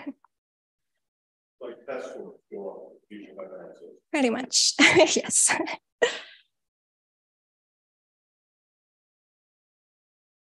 Okay. Yeah, I mean, I would definitely say in a project about light, you have to be really precise. And I think using software to your benefit to really analyze how successful you are in creating sort of ambient as well as, um, you know, atmospheric lighting conditions. I'm looking at your floor plans specifically, and I'm not convinced that they're going to be that much different than what we currently have in this building right now.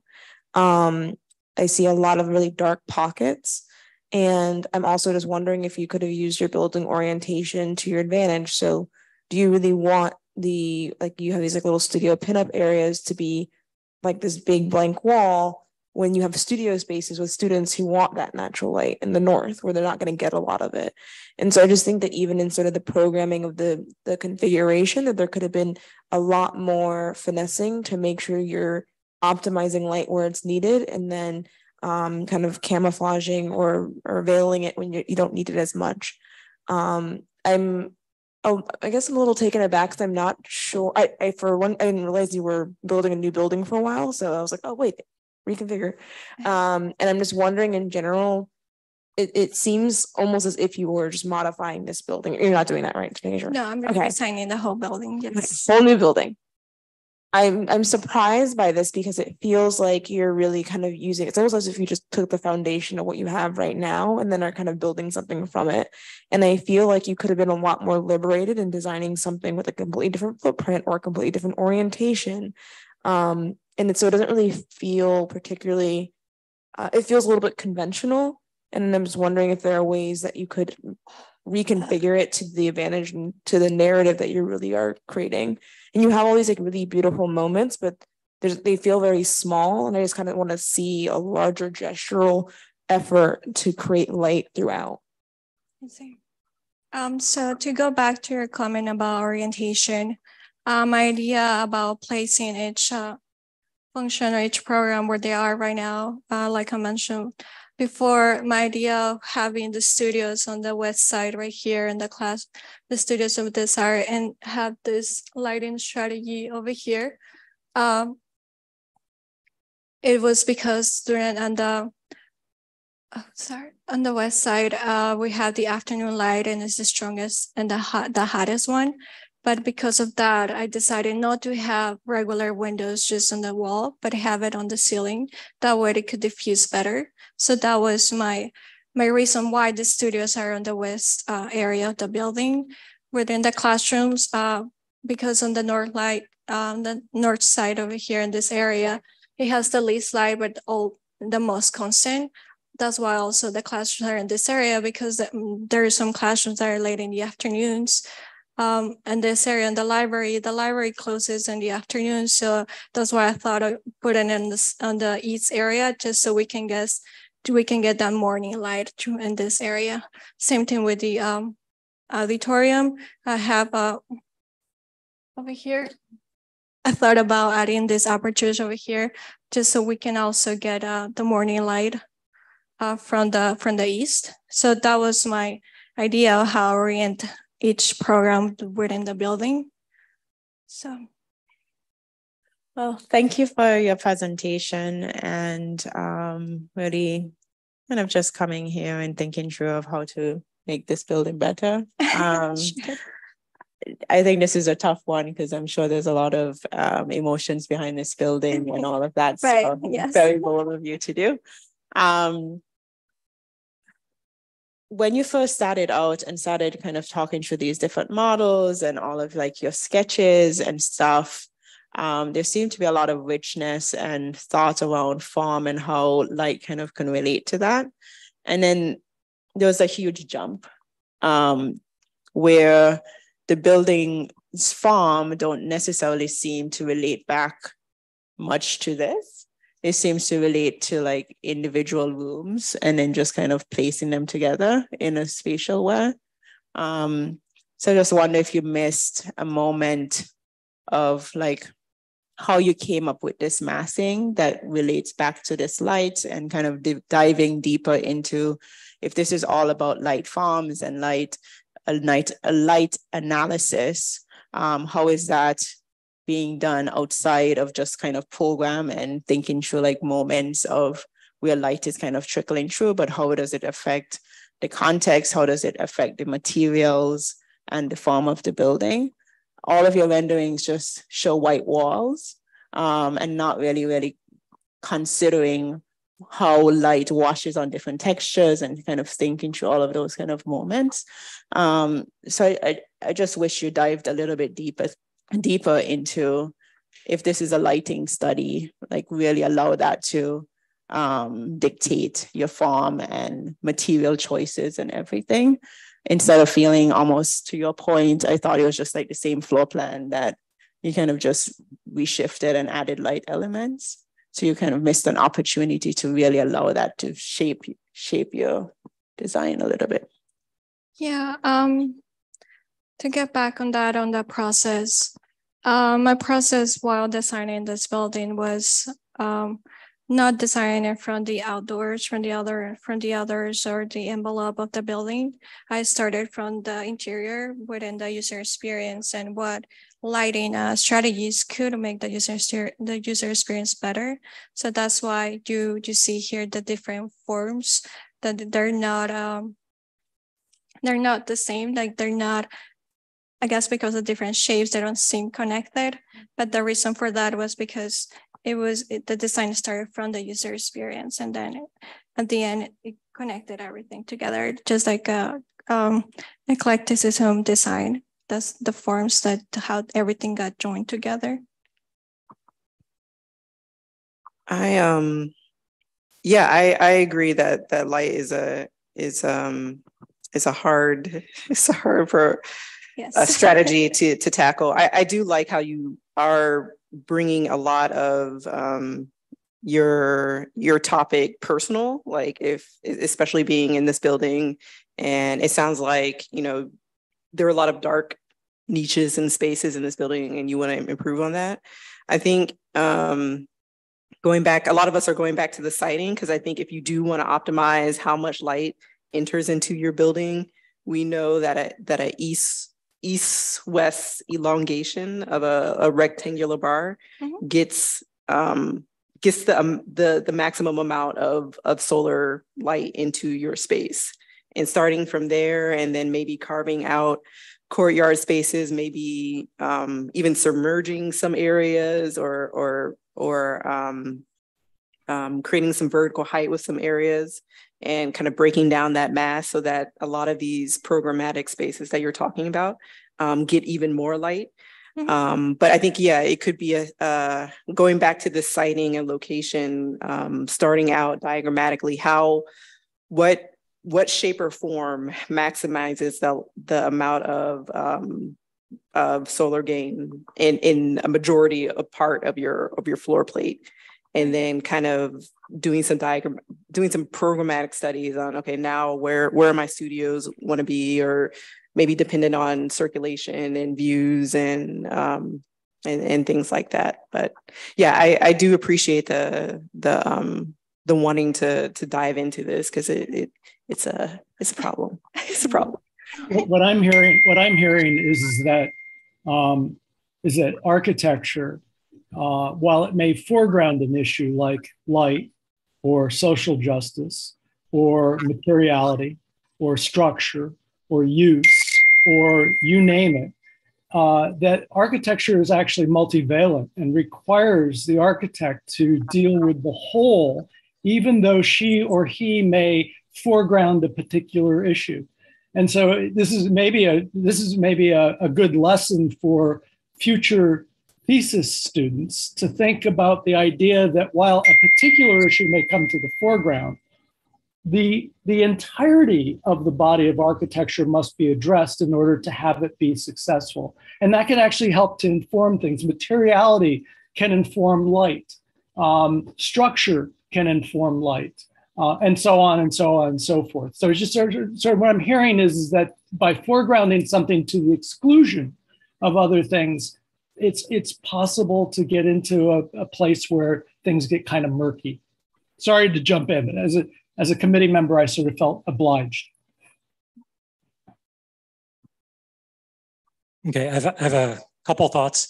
There, are a few things I really, really like, but I think there's one or two fundamental missteps that I would really like you to think about as you, you move forward thinking about these issues with light. So I love the sketches at the beginning, but the, the sketches to me uh, portray like a more dramatic light rather than sort of a soft ambient work light. And the fact that then you've used that in the entry sequence, right when I come into this north entry and I have these dramatic sort of slots of light in the corridor, that tells me what this whole building is about because you've made that a, a key element at the very entrance to, to your building. And so I think that's a strong sort of reinforcement. And it actually, to me, ties back very closely to sort of some of the, the sketches that you've done that have these sort of slots of light. But I, th I think there's like one fundamental misstep, and I'm going to point to it. Um, if light and ambient light and comfort is, for the users is really important, this building's just way too deep. Um, I mean, this is, I don't know how many feet it is. I'm not going to speculate on that. I don't know, it's 80 feet or 100 feet or whatever. But I really worry about what's in here. You talked about, you know, some people in studio sit next to a window and some people are inboard. But I kind of think, you know, that's going to be the same here. These students on this side are going to be next to the light and the students all the way in here are not necessarily going to have that. And I think a really easy way to solve that is if there was just a, a nice, elegant light well that allowed perimeter windows on both sides of that space to really allow light to come in and come in from both sides, it could really make this a really wonderful experience. And it would tell me right away that light is the heart of my building, you know, as opposed, as opposed to just dealing with the perimeter. And that would make two narrow pieces with a light port in the center rather than one deep space that's going to, I think, be kind of dark in the center honestly, because it's going to be so much brighter on this perimeter. It's even going to make it feel a bit more dark by contrast. Um, so I, I, think the same thing could happen over here in a really powerful way. You have this uh, two-story space of a library. And if there's any space in this entire building where I want to bring some light in from above, it's above this two-story space. You do have a courtyard up there now, you could expand that courtyard and drop a skylight in that courtyard at the second floor.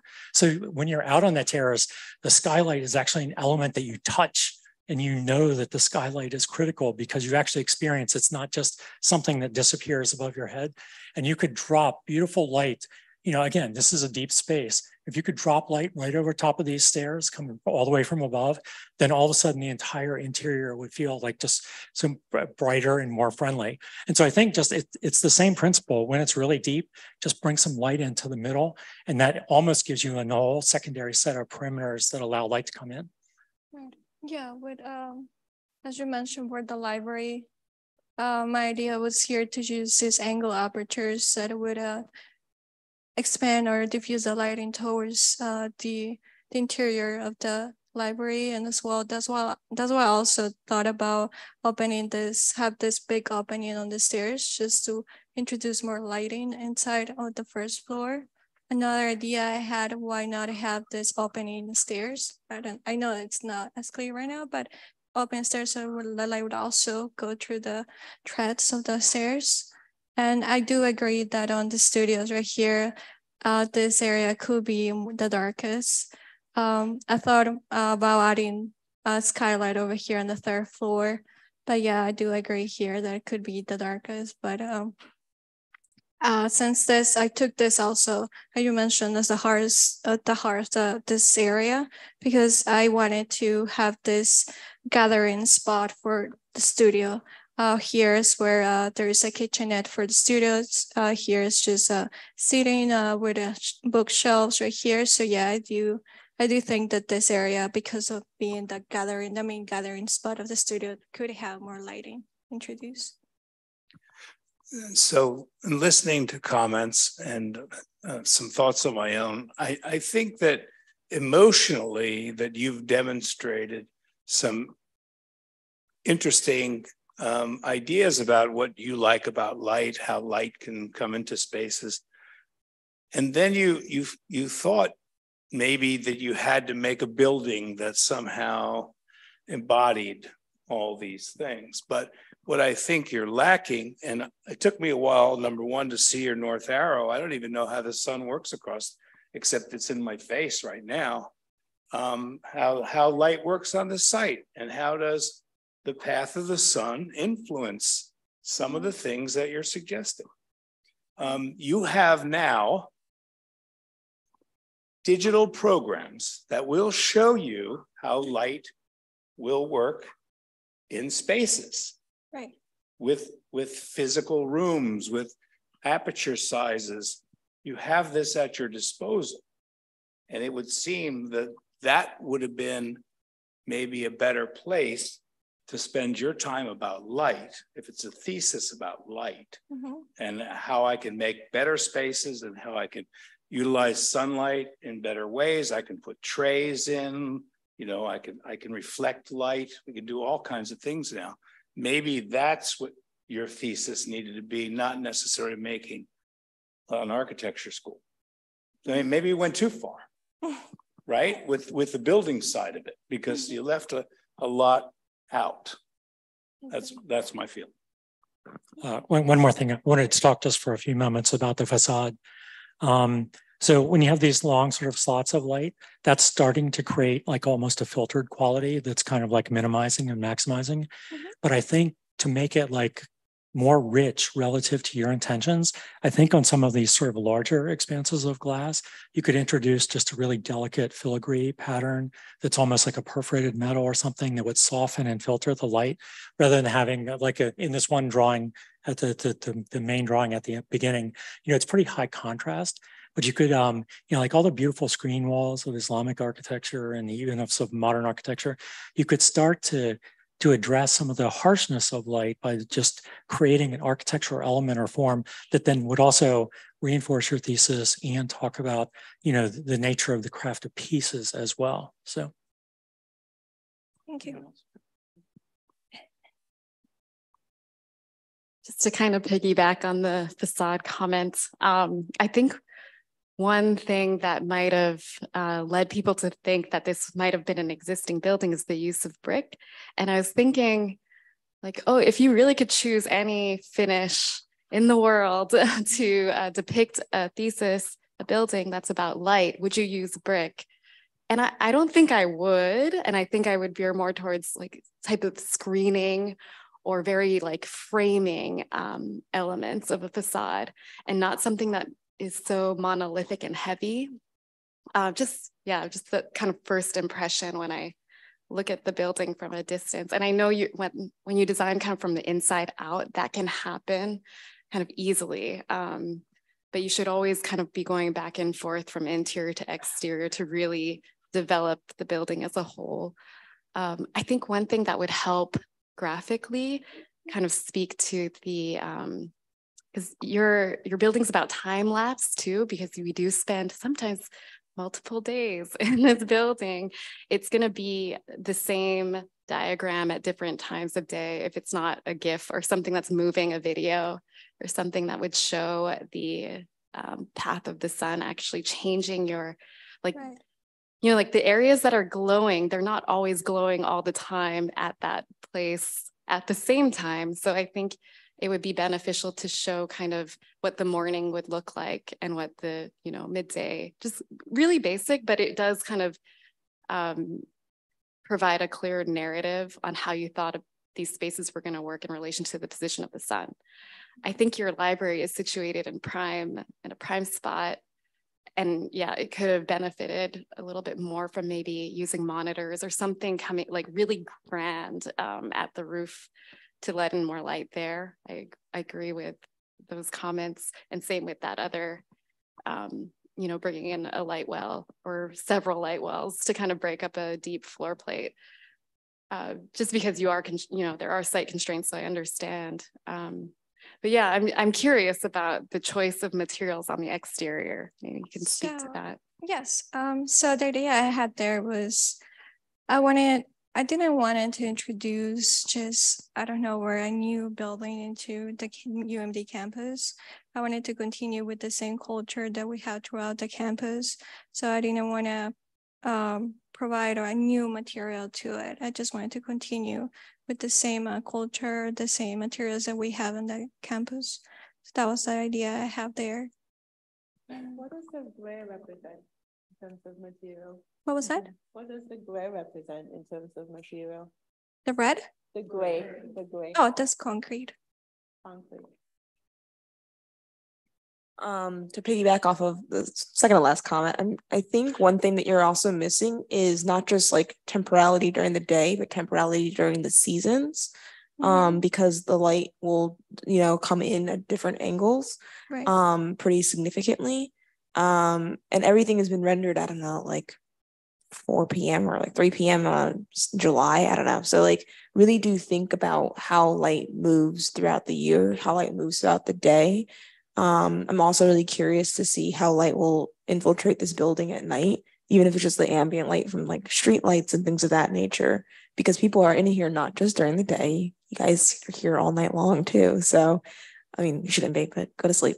Um, yeah, and so thinking about the light quality throughout the occupation, this is truly one of the few buildings on campus that is used almost 24 7. 24 7, yes. Yeah. Yeah, I do agree. I think that uh, having those videos just to show the lighting throughout the day will be helpful, which is, um, I mean, I don't want to say it was uh, because of time issue, but yes, I do agree that that could also reinforce more my design. Yeah, I mean, I think this thesis is something that you can carry well into your career as sort of like a subject of interest for you to explore um, once you graduate. And I would continue to push the ideas, especially some of these moments in these sketches and in the models, which are very beautiful. Um, my only other piece of advice, and someone else told this to me one time, like within every building, don't throw the kitchen sink at it. Like find your moments and then like like really amplify those moments and then sometimes you have to edit out those other things and use those in your next project. But um creating i think a little bit more hierarchy within the space and then allowing other things to kind of take like a design diet and calm down a little bit and then those things that are really special will be super special in that building. One of those things that I would maybe reconsider is your structural axon because it's kind of just taking up space. And I don't know if you'd actually even do it that way, um, just based on your whole design. So I would really, I think what you did well is highlight, you know, your thesis is about lighting. Let's just talk about that. That's a really good way to kind of edit down. Um, and then also going back to just how dynamic light can be, you kind of want your building to move and adapt with it. And so I would expect to see maybe another, you know, level of design would be to introduce like more oper- operation and operable louvers or big, you know, huge shutters or stuff that you can maybe see and read from the exterior that are impacting the interior. Okay. Right. So I have two questions that have nothing to do with light. So uh, just show me exactly where the front door is. Like I'm looking, there's all these sidewalks that kind kind of converge here in the plan, like the first floor. Entry, which can be more visible right here. So I designed the landscape in a way just to uh, create this promenade to uh, introduce you to the main entry, which is in this area. Yeah, it's kind of a shame in this drawing that there's a tree kind of covering that because I do think the entry is important. And I, the sign might sort of tell me to walk towards the entry because there's a, a large signage here and the sidewalks may guide me there. But I want the building form itself also to tell me where the entrance is. And then just in terms of pure formality of elements, um, you know, when I look at this facade and, you know, I'm okay with brick, but I might do white brick in this case, just because of the nature of the project. But I look at this sort of large plane here that's kind of undefined. And and then there's this little thing here. Like I, I, I don't understand in this, if is this a solid building that has openings cut into it? Or, or is it a series of planes? Like I almost wish this just went all the way up and this was just metal panel here. So we didn't have this kind of little minimal piece of brick that's kind of very sort of almost barely attached to this more massive piece. I think if it was done as a series of vertical elements, it might reinforce what's happening here. And it would be a little bit more clear that these are planes and not like a volumetric form. So, you know, think about those those little things in terms of, you know, volume or skin, uh, you know, when you when you design facades. That wall right there, it's the outdoors of this uh, space over here. So this, that big wall that you see here, I, I decided to just leave it solid just because um, I thought about it can be useful for presentation boards in this area and then have those uh, vertical lighting uh, going on the side on an angle just so it could introduce this lighting, but at the same time, not uh, be direct to the students or the professors or the presentation that is happening in. All right, Christy, um, nicely done. This was a very ambitious and bold project, obviously, given the given the nature of it, and given everybody's feelings about this building. We're we're having these debates right now, and you're you're thank God you're not privy to them. You don't have to worry about the kinds of debates we're having behind closed doors about how we want our next building to be. But um, I just want to draw a couple, uh, draw attention to a couple of things that Christy didn't have time to tell you about uh, uh, concerning her process. And um, uh, she was deeply engaged with understanding how light works on this site. And she even went outside on the winter solstice, um, the shortest day of the year, to understand and, and analyzed over the course of the day how light worked on this very site. Uh, she did do those time lapse analyses of light through each one of these spaces. And just to take an example of how nicely it actually works, the lecture hall and the way that those uh, slats in the wall work in the lecture hall, they cast beams of light that go across your feet in the aisles and never shine in your face. Uh, and they keep that lecture hall wall free of light. And uh, she, she also did a lot of research on psychological studies of different different forms of light in spaces, whether they're pointing away from you towards the walls, whether they're pointing along the wall towards the ground, or whether they're illuminating the whole space, and how those activate different psychological uh, experiences. I think most fundamentally, Christy, the, mo- the most provocative and interesting thing about your th- uh, thesis idea is a kind of radical thinking about how an educational instructional space uses light. Because I think the paradigm right now on campuses everywhere is a lot of light, almost just light suffusing the whole building. It's almost as if uh, learning is a matter of shining light on worker ants so that they go. Uh, you have a kind of much more poetic idea of how light can define space and create patterns in space. You control light. You have areas of privacy. And you even said it yourself, and you said it to me many times. You want the school to feel like a second home. There's really something to that in this um, this post-COVID era. Uh, a lot of people would rather go to would rather stay home to do work and to do schoolwork and not come to the institutions for it because home is more comfortable, and these uh, just pervasively lit spaces feel much more institutional and cold. So I think you kind of have something there. Uh, but I really profoundly agree with the comment that there's a big jump from your charcoal drawings and your studies along those lines to the actual form of the building. Maybe too much reliance on Revit, too much of this kind of pancake. Let's just make the that automatically we're going to have a stack of uh, floor plates, you could have really actually had the form of the build, building follow your original vision more.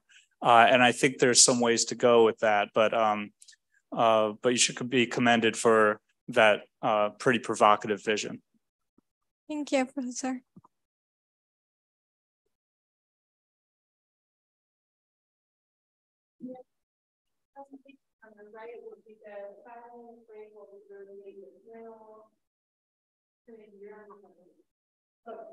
Okay, we're not gonna move the chair. That one looks familiar. Good job. Yeah.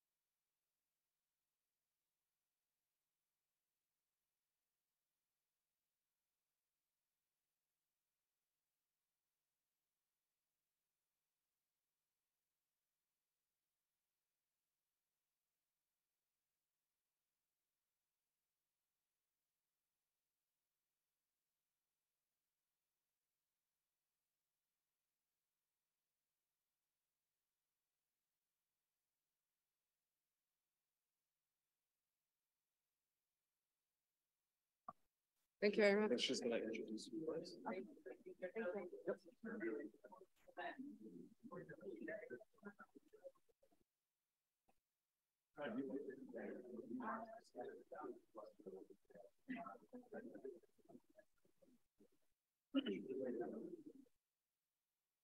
Okay. Okay, we're gonna gather for the final presentation. Jurors to the front. I think maybe all the jurors are actually here.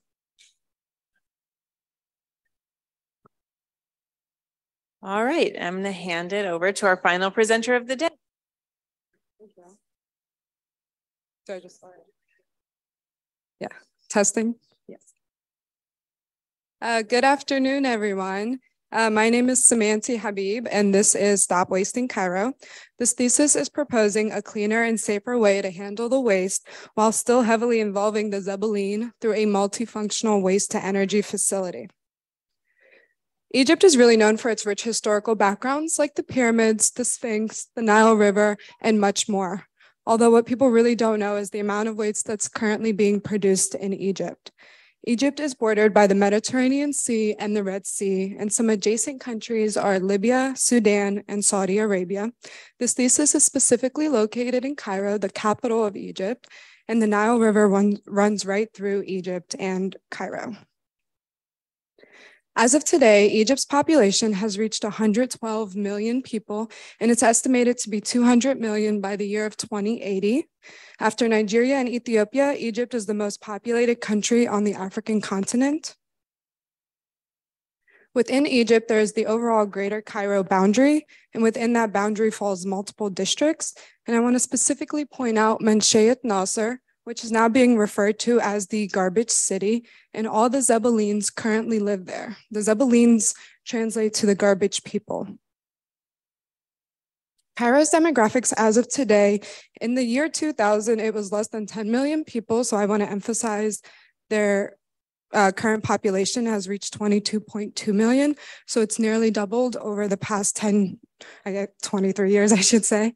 Um, and by the year 2030, it should reach up to 25.5 million.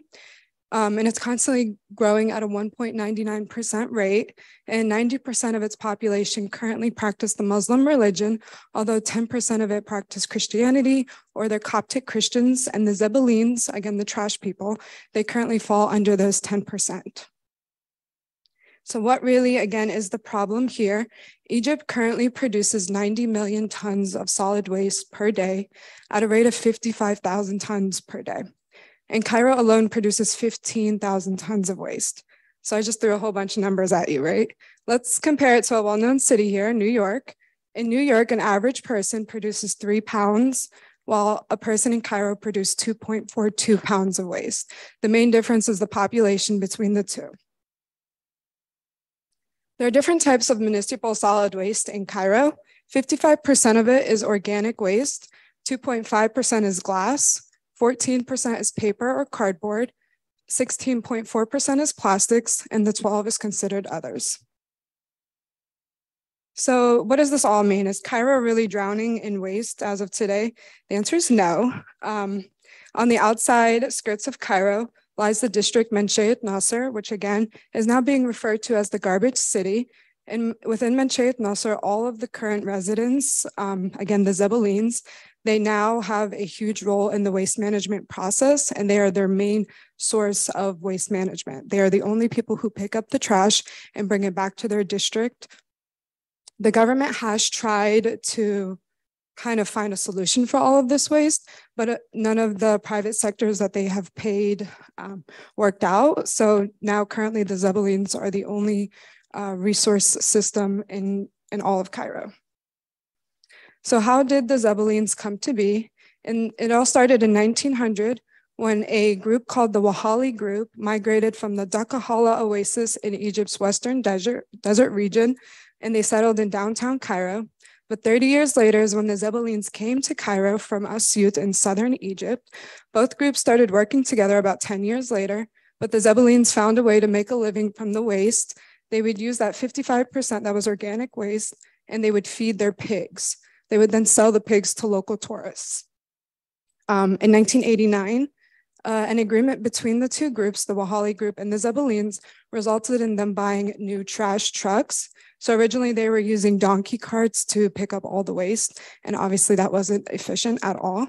Um, but there was absolutely no governmental assistance. They used all their personal savings in order to purchase these trucks.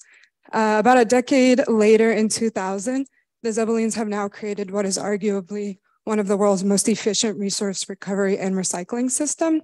In 2009, just to, this is kind of like a fun fact. Um, in 2009, when the swine flu pandemic hit, um, the government went around and started killing all the pigs. So it affected the Zebulines' main source of income. Uh, but then they realized that the pigs were not really the main cause of the swine flu pandemic, uh, but it really um, represented a religious bias against the Muslim majority.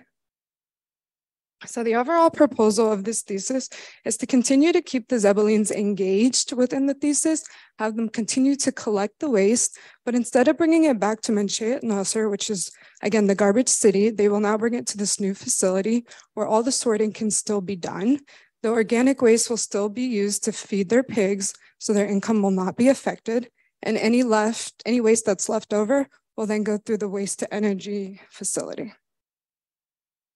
Keeping in mind that this facility will not bring more toxins and harsh chemicals and it won't pollute um, Cairo because a lot of that is being controlled within the facility. So the overall selected site, the site is about a 15 minute drive from Menshayat Nasser. Um, in relationship to Cairo, Cairo is right on the Nile River. Um, so from, from Cairo, it's like a 15 miles. Um, and then moving forward, the site is about 13.8 acres large. And again, it's only a 15 minute drive from Menshayat Nasser. So instead of bringing all of the waste into the city, they would now bring it down to the site. So just to summarize everything about Menshayat Nasser, again, it's a district of Greater Cairo. There's over 270,000 people. Um, it ranges, it's like on an average, uh, females, males, there's families, there's young children. And other than the uh, income that they receive from their pigs, they also receive 56 cents to collect trash from apartments per day.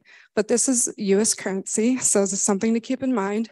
When this gets translated to Egyptian pounds, uh, each pig makes about 80 to 100 on average. So that translates to 2,500 Egyptian pounds. So to them, that's still a really good amount of money. Okay, it's graphic warning. This video is not pleasant to the eye, but here's kind of some of the characteristics that are happening within Menshayat Nasser. Once home, the women and girls do almost all the sorting.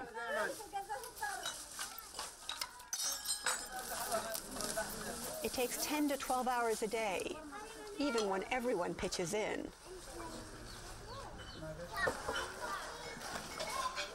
The Zabalin tend to have big families, since they need lots of extra hands.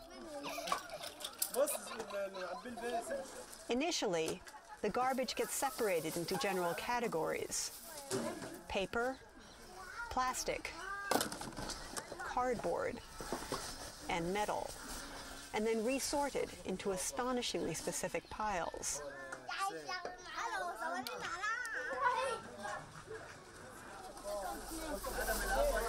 You can tell a lot about a city from its garbage. Since they don't wear gloves, tetanus is a constant threat. And nearly half of the Zabalin test positive for hepatitis.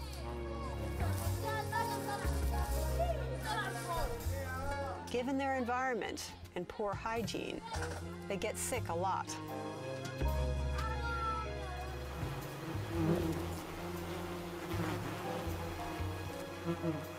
All organic waste is fed to pigs.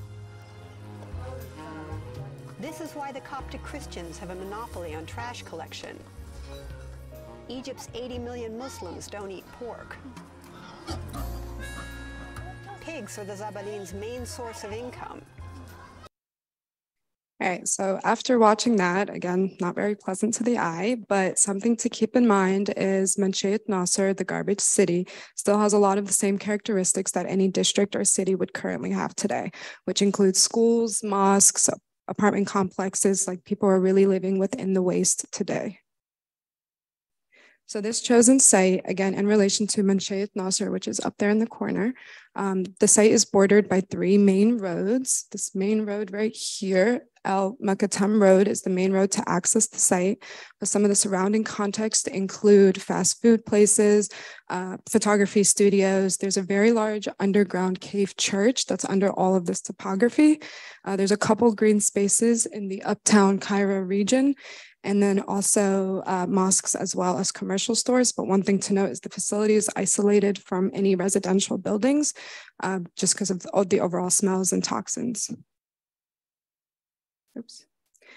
Uh, the site's also very accessible by bus, car, and metro. The closest bus stop is about a half mile away. So the Zebulines have really identified a niche in Cairo's infrastructure to capitalize on. And as a family effort, they all collect, transport, sort, and dispose of waste inefficiently by hand. Family members are exposed to harmful waste, bacteria, and possible injury in order to make a living. The new facility takes danger out of the equation, and members would continue collecting and transporting the waste, but now they will transport it to their new facility where waste can be sorted and disposed of efficiently and safely while still remaining their profit. Here's an overall representation of that new sorting facility that I'll also point out on the site plan, but as you can see, it's just a much more cleaner and safer environment. So on the site plan, um, locating just some of the zones, I'm gonna use this to point. Uh, right here is that sorting facility, which you just saw a visual of. Here is the waste to energy facility and how it's being intersected by the public program. And then there are three main parking lots. This one over here is designated to the trash trucks for overnight parking. This one's closer to the classrooms, which I'll go into. So it's for school buses. And this one's for visitors. Um, and workers as well. But again, here's that Al Mokattam road that leads everyone onto the site. And these roads were really designated for the trash trucks to flow through the facility. And whatever waste they aren't using will then run through the waste to energy facility. So looking deeper into the program, it was divided into four categories, starting with the waste to energy facility, the second being the education about waste, third, environmental education, and the fourth, the sorting of valuable waste. The education about waste is going to be used a better way to reduce, reuse, and recycle the waste and have visitors really be educated on how much Cairo is currently producing and how efficient and how uh, waste can benefit them overall. And then for environmental education, it's going to be used to educate citizens on composting and agriculture. And the sorting of valuable waste will be used for the Zebulines to have a cleaner and much more efficient environment to work in. So all these four programs are laid out in the overall massing. Uh, the building overall is just a two-story design that intersects the waste to energy facility with educational program. So while the visitors are flowing through the space, they also get a sense of the flow of waste as well. Using this again.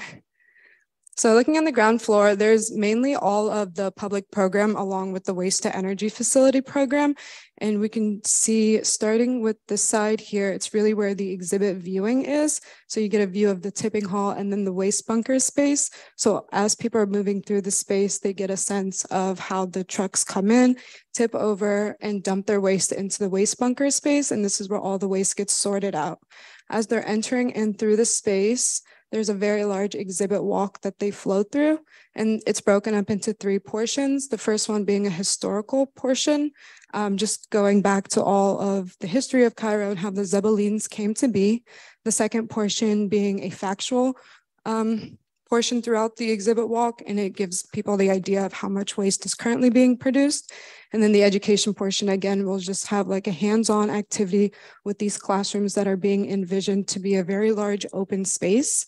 Um, so it's like an indoor-outdoor field between the two. And it allows for visitors and students to get a hands-on activity of agriculture and composting. And then here again is that sorting facility for the trash trucks and any waste, mainly anything other than organic really, would then come back through the facility and go through the waste to energy uh, process. And here's an overall representation of that exhibit walk. And we are located right up here. So you get the view of the tipping hall. And as you work your way down, you have a view of the waste bunker space as well. The second floor is mainly designed using an observation deck, and the observation deck is located right up against the waste bunker space. So people get a view of the upper portion so they can really see the crane in action as it's coming down and sorting through the space or through the waste. Um, so that's the main difference between the first and the second floor. And here is an overall representation of that observation deck. So for the facades and the type of material that was used um, was really specific to Cairo's. It starts with, there were three main materials, a limestone brick, uh, metal panel skin, and glazing. And the limestone brick was chosen because of how common, how commonly used it is today in Cairo. All their residential and commercial buildings are made from limestone brick. Um, and the limestone brick continues up 15 feet tall, uh, just to match the overall surrounding context and that brick uh, wraps around the entire facility. These two main uh, sections, the first one, the west-east section is cutting through some of the waste to energy facility program along with uh, some of the public programs. So you have the tipping hall and then the exhibit walk. So you can see the relationship between those two. And then the north-south section cutting through the um, mainly the public program, starting with the offices for the workers, uh, the atrium space, and then the entire exhibit walk that then leads you to the classroom spaces.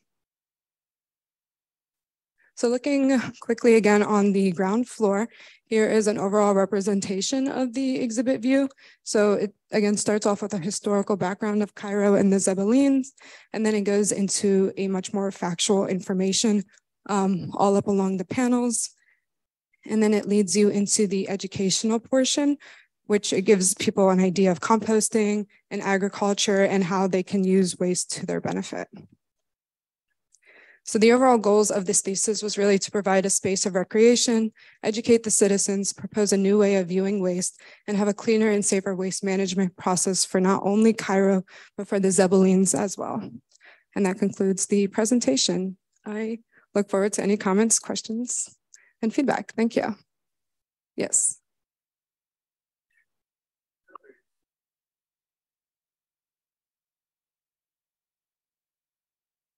Is it on now? Yeah. Uh, thanks for the presentation, Samantha. Very interesting. It's just wow. Um, is in your programming for the project, did you include anything like, you know, the stuff for the Zabaleen people? Like, do they, do they get showers and lockers and yes. and accommodations for them, hygiene issues and things like that? Yes. So on the ground floor in the sorting facility, um, there are bathrooms, showers, and break rooms for them. And how do they get there? So they drive the trucks in? No. so there's like these alleys. Um, it starts with these are dumpsters, the people work in between, and these are like conveyor belts. And then the the, the roads go through the um, the sorting facility, but kind of once it's like the end of the day and they're done working is when they would go to the break rooms, showers, bathrooms, whatever is needed for them. But are, are those people, are they coming there on foot? No, these are the Zebelines working. So once So they they're the working truck- there, but, but where's their community and how do they get there? Yeah, thank you. How do the workers get to work? Use the stick. Use the stick. How do, like if I'm a m- member of my Zabaleen group, how do I get there? Do I, do I take a bus? Yeah, so there's there's different transportation. Um, there's a bus stop that's half mile away. Um, it's accessible by cars and metro as well, but this is the main road that's accessible. And I mean, whether you're a visitor, you come down here, whether you are uh, a Zabaleen working and you're coming in with the trash trucks, you would come in through here. Is that But do they come in in cars or buses or, and do you, I guess the question is, do you have to keep them separate from the public? Because if they have all these health issues and Mhm.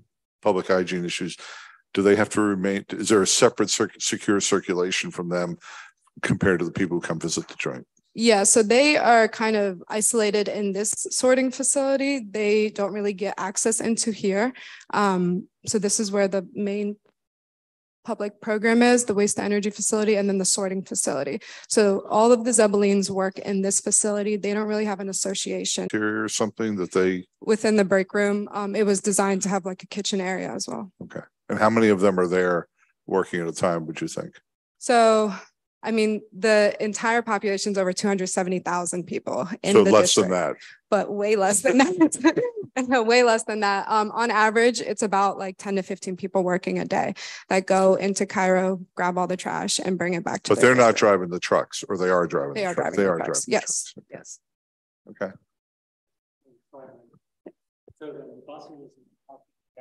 Mhm. No, so these are for, these are for- the visitors, um, and these are school bus. Yep. So it's just completely isolated from one another. I would consider this kind of more of like the back end, back of house, and this is more of like a frontal view for the visitors. I think there was a question back here.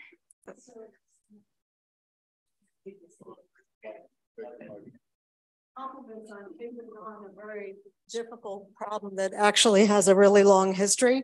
So when I worked for an NGO in Cairo in the mid 80s, um, this was already a very well uh, studied problem. Mhm. Um, Zebaline picked up my trash, picked up all of our trash. And um, I think the, there's just a few points I want to make.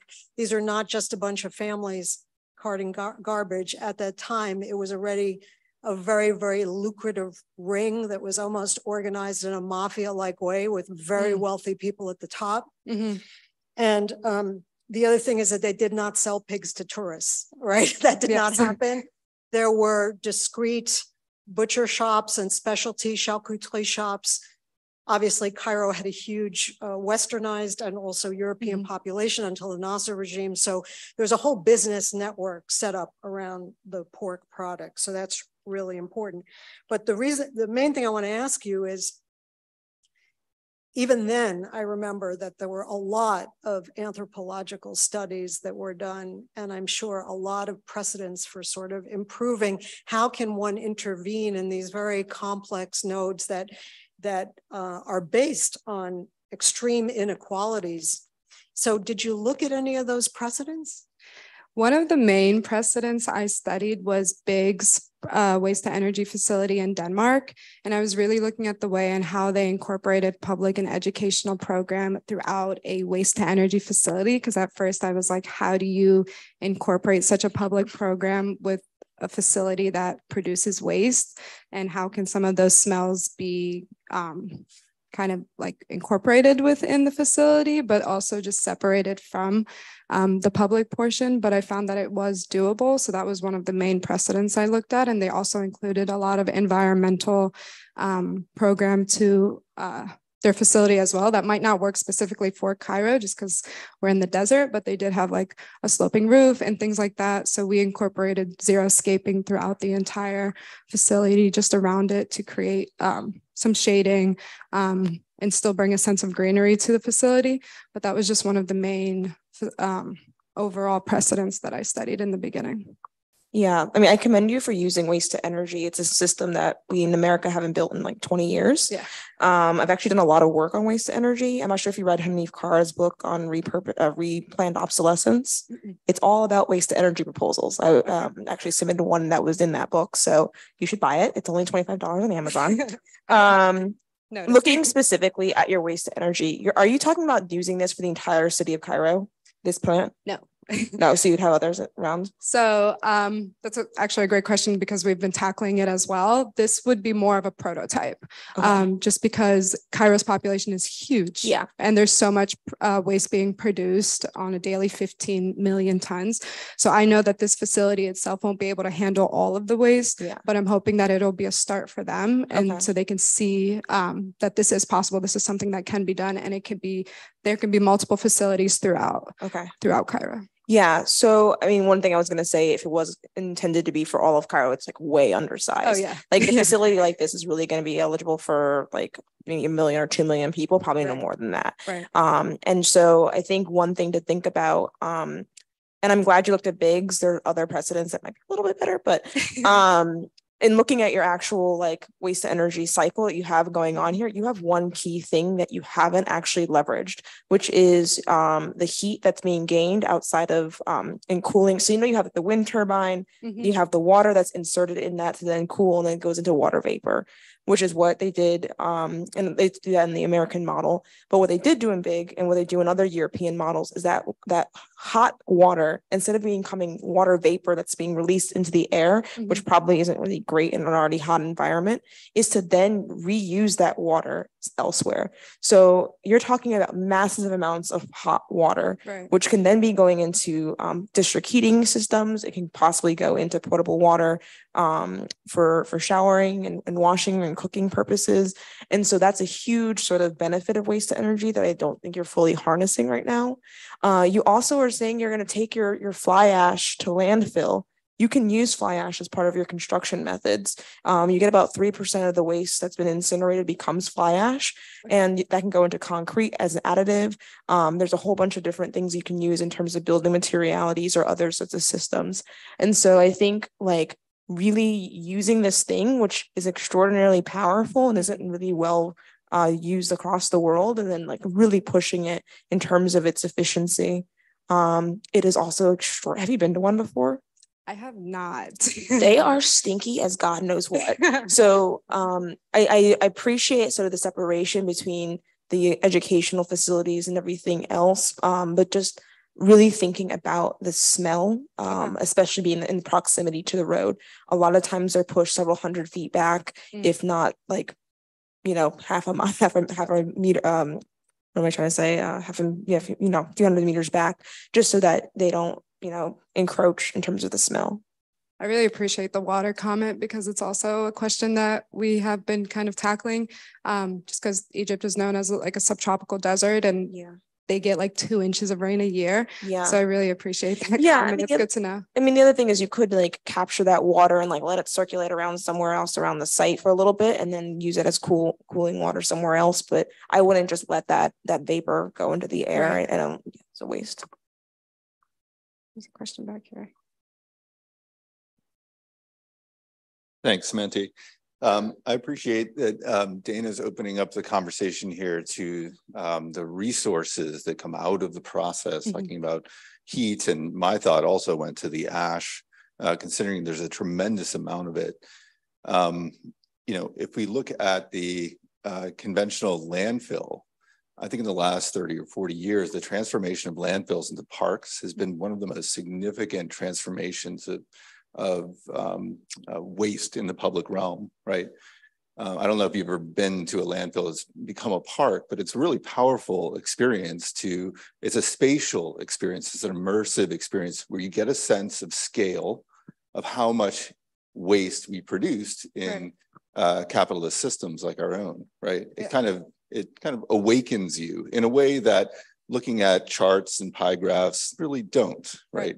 So I think you started your presentation today by trying to give us a sense of scale, the enormity of scale, Yeah. right? And I think that your exhibit walk might be only one small way of starting to describe the sense of scale of waste to the public. Mm. And then in fact, you could start to create landscapes of ash and terrain and topography and ex- outdoor experiences beyond the walls of this building or uh, uh, infiltrating the building or surrounding the building or something else. Some other ways of creating spatial experiential um, methods that allow people to grapple with a sense of scale because it's nearly impossible to wrap our minds around it. Right. um, and it's one of the challenges i think we, we need to um, you know awaken to the enormity of the problem. And one of the ways to do that is to create space right Thank you.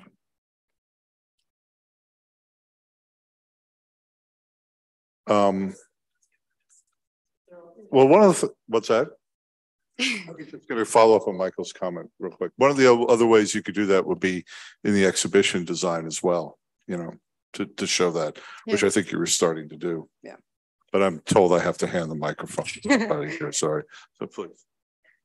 There's a lot of topography in the area. So that's also good to note. Thank you. Sorry, go ahead. just looking at your program, it's really interesting and unique. And I I don't have experience with the waste energy. So that's also very interesting. And I like when you kind of show your or um, celebrate a technology and an, an infrastructure, an amenity for uh, at least a segment of the city. And I, I think it's a great example. I think one thing programmatically that kind of going back to um, you know the questions about what do the is it the Zabaleen? Yes. What do they like? Where are they? What are they doing? Um, what do they get out of this? Yeah. Um, I, I think it's good that we're you're addressing this problem of sanitation and safety, but it looks like you could take it a little further by, you know, providing like a, I don't know, more health services or some other component that is not like you know the exhibit exhibition space and mm-hmm. classrooms take up a lot of space relative to what they what the workers get and i just feel like this you know the balance needs to kind of go a little more in their favor um, and a little more you know if you're going to highlight them in the exhibition mm-hmm. they should get like something more tangible out of that it. makes sense. Yeah. Thank you. I was literally gonna say the same thing. So, um, when the question kind of came up of where they and saying like they have no connection between the two buildings, it's almost like you're um I don't want it to be um kind of thought of as trying to lure only 10 people to kind of come here because I think you said it's only about 10 people.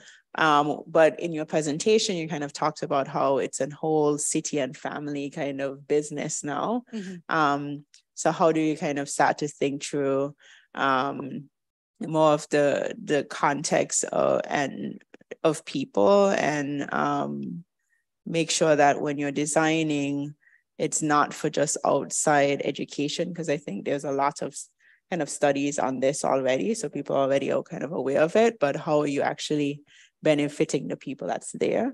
um, and improving their way of life because you kind of mentioned that that's something that you're interested in mm-hmm. but this site site seems to kind of be reversed in that of kind of just educating more instead of necessarily addressing kind of the key um key problem of just health so i mm-hmm. totally agree with you in terms of like how do you kind of bring in space for for improving some of their health conditions as well um outside of that, I find your presentation to be quite compelling. I even like your use of little bits of garbage kind of planted in between. I think it's very thoughtful of kind of just bringing you into the space and thinking about um, the topic at hand. And it's a big, a big one to tackle. Um, so I appreciate the the Thank creativity you. for sure. Thank you. And I definitely agree with the um, comment about the Zebelines. Um, it was funny because Professor Ronit, I don't know if she's here, but it was kind of her idea after our presentation to include this sorting facility, which I thought was a great idea. So I think moving forward, if I were to add more, um, just for like health concerns and sanitation concerns, um, it definitely would be a part of my next phase or iteration of this. Thank you. I think there was a question back there, or whoever. Going back to the comment that I initially made, I wasn't so much, I mean, we had a lot of good input about technical precedent, precedents and landfill parks and so forth. And I think Mohammed has a comment he wants to make about that. When I was talking about precedents, I was talking about precedents meaning anthropological studies mm. and spatial studies that looked at their lives, right? Mm. The people's lives and routes and so forth because I mean, you know, again, I have been away from this for a very long time, but the idea of a large center located somewhere, it's hard to understand how that's related to what people are already doing. And I could imagine maybe some kind of urban acupuncture approach where you're actually figuring out where these different nodes are and doing kind of mobile centers that try to upgrade those situations. Because if there are these powerful interests sort of controlling the Zebaleen anyway, they're only going to be enriched by this right. kind of thing. Right, right. Thank you. Thank you. Um, it's it's such a relevant topic and such an important one.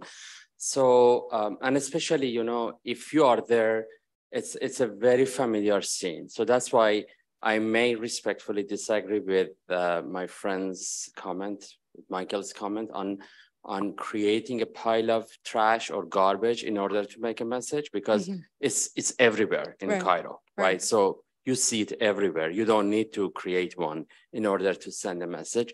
The other thing is, um, I'm sure that in your studies, probably you came up uh, across uh, Al Azhar Park, right? That was created, I mean, partly on on one of these, I mean, huge Mhm. piles of trash um, at, at some point, probably about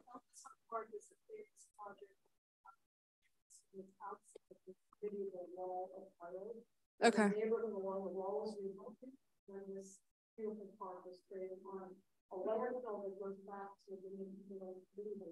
And it also had to do with this notion of hygiene and public health and this kind of garbage issue in Right. the in the city of Cairo. And I also want to go back to what, what you mentioned, um, uh, Michelle here, that let's not sugarcoat it, that the Zabalin are, are mafia. I mean, it's a, it's a mafia Yeah. across Middle East. And I know that there are some families who are involved in this business, but uh, I, I mean, what, what I see as a future of your project is that there is going to be a huge resistance coming from this mafia that you have to deal with, Mm. right?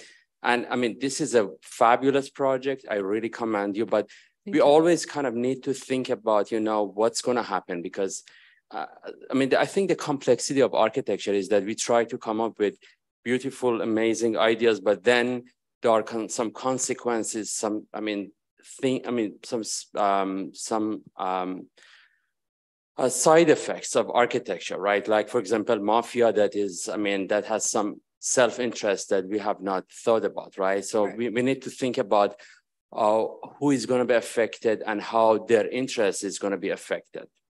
It's good to know because I read an article, I think it was like an American citizen just in Cairo and they visited um, their district and they got beaten up for taking photos of the garbage. So it seems like they don't want anyone to just mess with um, their garbage or their district. But this really was just a way to help them, I guess, or just improve some of those sanitation. What do you say? There's some, some of those sanitation and hygiene issues in Cairo as well.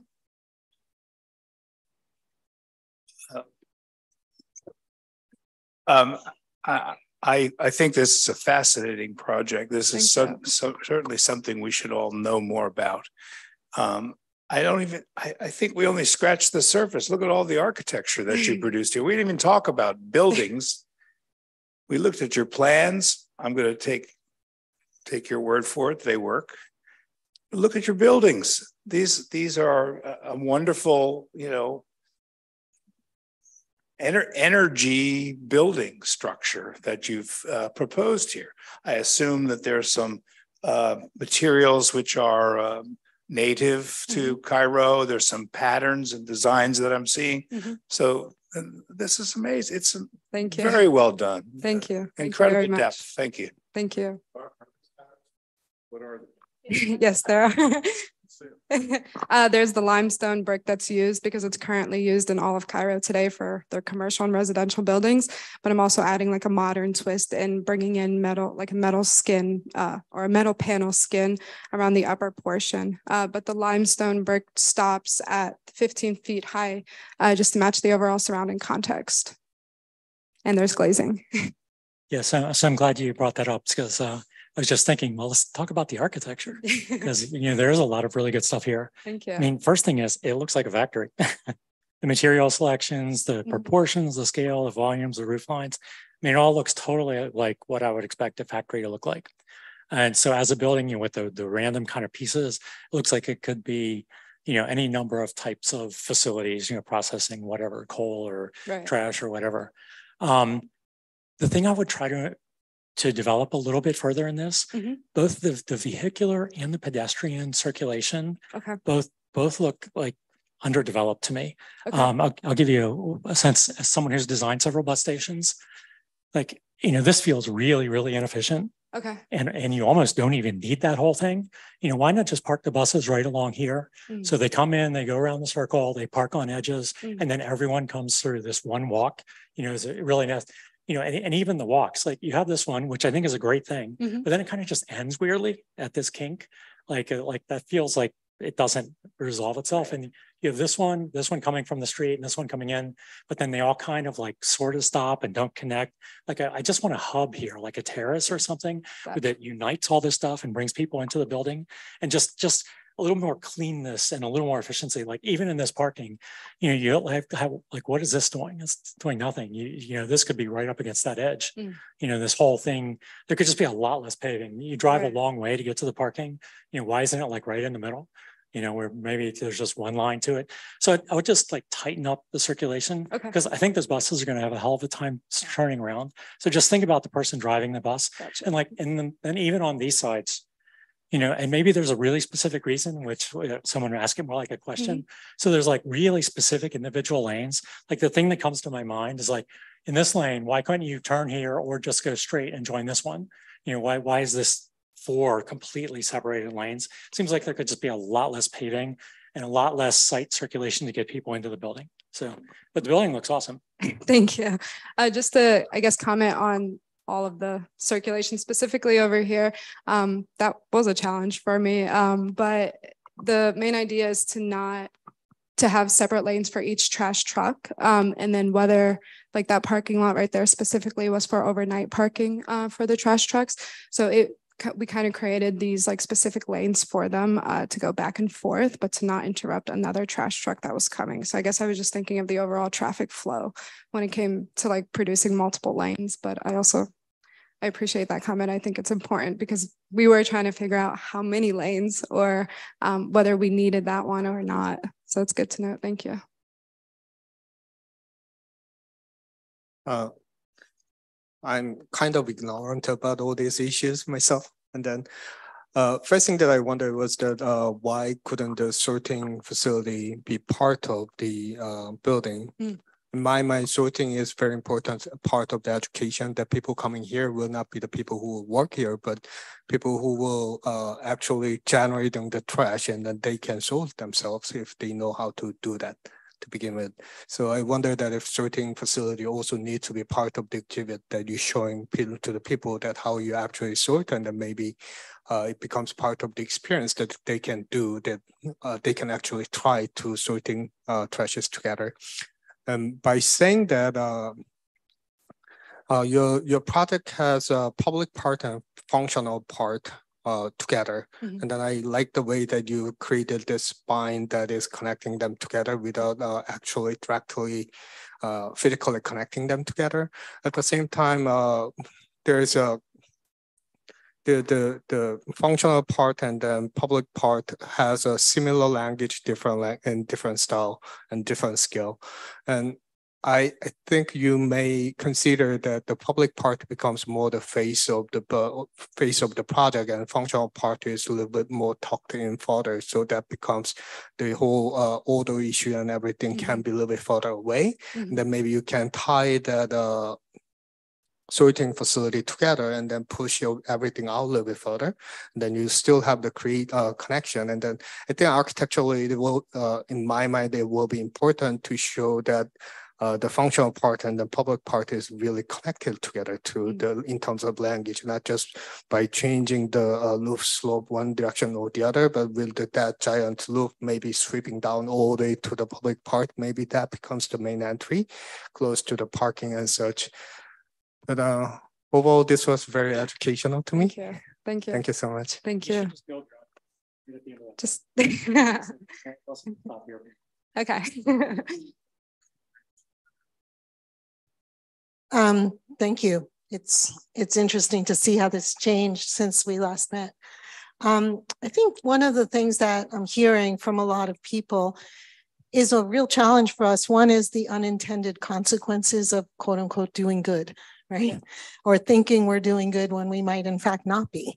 Um, which is something we talked about, right? Like, how do you guarantee that the Zabalines who were making money before are still in control of that and that you don't have politicians or other people now that there's wonderful facility and you still have the, you know, people being paid really poorly and kids doing that. So it's something that's sort of out of the architecture role, but it's at the same time something we have to be really knowledgeable. Um, and I wonder if, you know, in hindsight, this project would have benefited by having someone really who's more understood this kind of political sociological piece of it. Um, one of the one of the questions that came up, which I think is related to Matt's first question of how do you get people here, is the conversation of okay, this isn't an area where there's no other building here, no other residents, right. and people who may not have a lot of money are not going to take a bus and they're going to start building homes right next to it, right? And in a city that's growing as fast as Cairo is, um, I think you have to expect that to happen. So rather than sort of leaving all that empty land, I would love to see your proposal for what it's like in 10 years after this opens or what it's like in 20 years after it opens. Mm-hmm. And so that the idea really potentially does include that community and that strategy of saying we're putting it out far away from everybody else isn't really a realistic strategy for Cairo because any place there's land, yeah. people are going to move into. So knowing that's most likely, right? I think that's a place where as architects we can propose an idea for how that development could go. That's a really interesting point. Um, just because I've changed the site five times because of how quickly. No, no, no, I know. But I'm saying like how quickly it changed. The previous site that I had chosen, um, there was all these new apartment complexes on them. So I understand the point of what you're saying. Um, and it's a really good one because Cairo is constantly growing. Yeah, a place with apartment buildings might require a very different strategy. Yes. This is something different. Um, it, it is a, a, a, wonderful problem to put out there. And, you know, I mean, we're not going to be able to change the politics in Cairo for the people who collect trash and stuff, but you certainly can improve the environmental conditions, you know, right. and I think that's sort of what you're trying to do. Right. A couple of things I think are things to think about about this project, which which for me I'd like to see more of. Like, for example, I look at it and aside from the palm trees, it could be almost anywhere. And I wonder, you know, there was a period of time before World War II, at least in America and probably other countries, when when public infrastructure had clearly a kind of regional character to it. You know, when I think about, you know, even the McMillan sand filtration site in DC or the Dalecarlia reservoir had a kind of mm-hmm. publicness and how the buildings looked and stuff. And they looked like they belonged in Washington. And I'm wondering if whether one of the challenges would be whether this could have some aspects of being in Egypt um, and still be the sort of modern architecture you want to do. In mm-hmm. other words, a patterning on the metal and things that might be a recognizable pattern to right. the culture would be one way to start to do that. Okay. You know, and I think probably right now it doesn't quite do that for me. The second thing for me would be the landscape. And I think the walk from the parking lot to the front door on a hot day in Egypt and it gets pretty pretty freaking hot there, right? Yes. would not be terribly pleasant. Yeah. And I'd really want to kind of have some sort of clear garden experience, shaded experience. And I think you have those things, but they don't look like they shade very much. Um, I'd want that kind of experience of, you know, something that was more intense there. The third thing about the site planning is I wonder, you know, I know I know you're coming into this forecourt and then there's this exhibition hall uh, the the relationship between the edge of the processing side and the edge of the um, kind of human side, the classrooms and all that, isn't very clear to me yet. Okay. And I'm wondering, and and this is if if I was continuing to work on this with you, I would want you to look at maybe coming in along a line of fracture rather than coming in. Because when I get here, I come in, and the implication of that and that and getting to that is not very clear in the plan. And I'd almost want to turn the thing so I moved that way between the service side and the sort of um, museum, human, clean classroom side. So I saw the opposition between the two you know so that so that there was clear a sense that you know if this thing if this all went like that and the back of the house stuff was all there and this was the stuff facing the street there, I would walk along and I'd have this sort of oppositional thing on either side. And that might go some distance to sort of making the point about our world and the potential of our world. Right now, I find my way to that overview thing inside the building, I think. And I think it's not as impactful as a kind of, you know, something that where you really can look on one side and see the trash coming in and it mm-hmm. being processed. And on the other side, explanations of, you know, things like Michael was talking about, about how these could be parks and landscapes, and it really makes the connection between the two, you know. Yeah, that makes sense. Thank you. Any final juror comments? Before I hand it to the chair. All right, so I'm Juan Burke. I'm the chair of uh, Semanti's thesis. So Semanti, I just want to, uh, first of all, congratulate you, Thank you. for a very rich experience. It was, it, it was hopefully as enriching um, as I think it was for me, certainly. Yeah. It was a very challenging uh, project to, to supervise uh, because I think the, the comments that came up reflect the complexity of the, the project. So we spent about maybe, uh, well, a few months. You spent a few months trying to understand waste to energy facilities.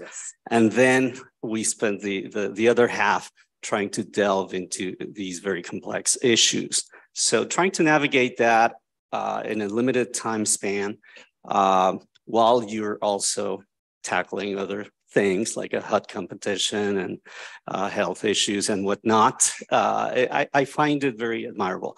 Um, so I, I, want to uh, acknowledge some of the, the comments uh, as, as being uh, very valid. I, I feel like some uh, aspects, some, some of the niche aspects of the, of the project require certain development. And I think we, we're both aware of that.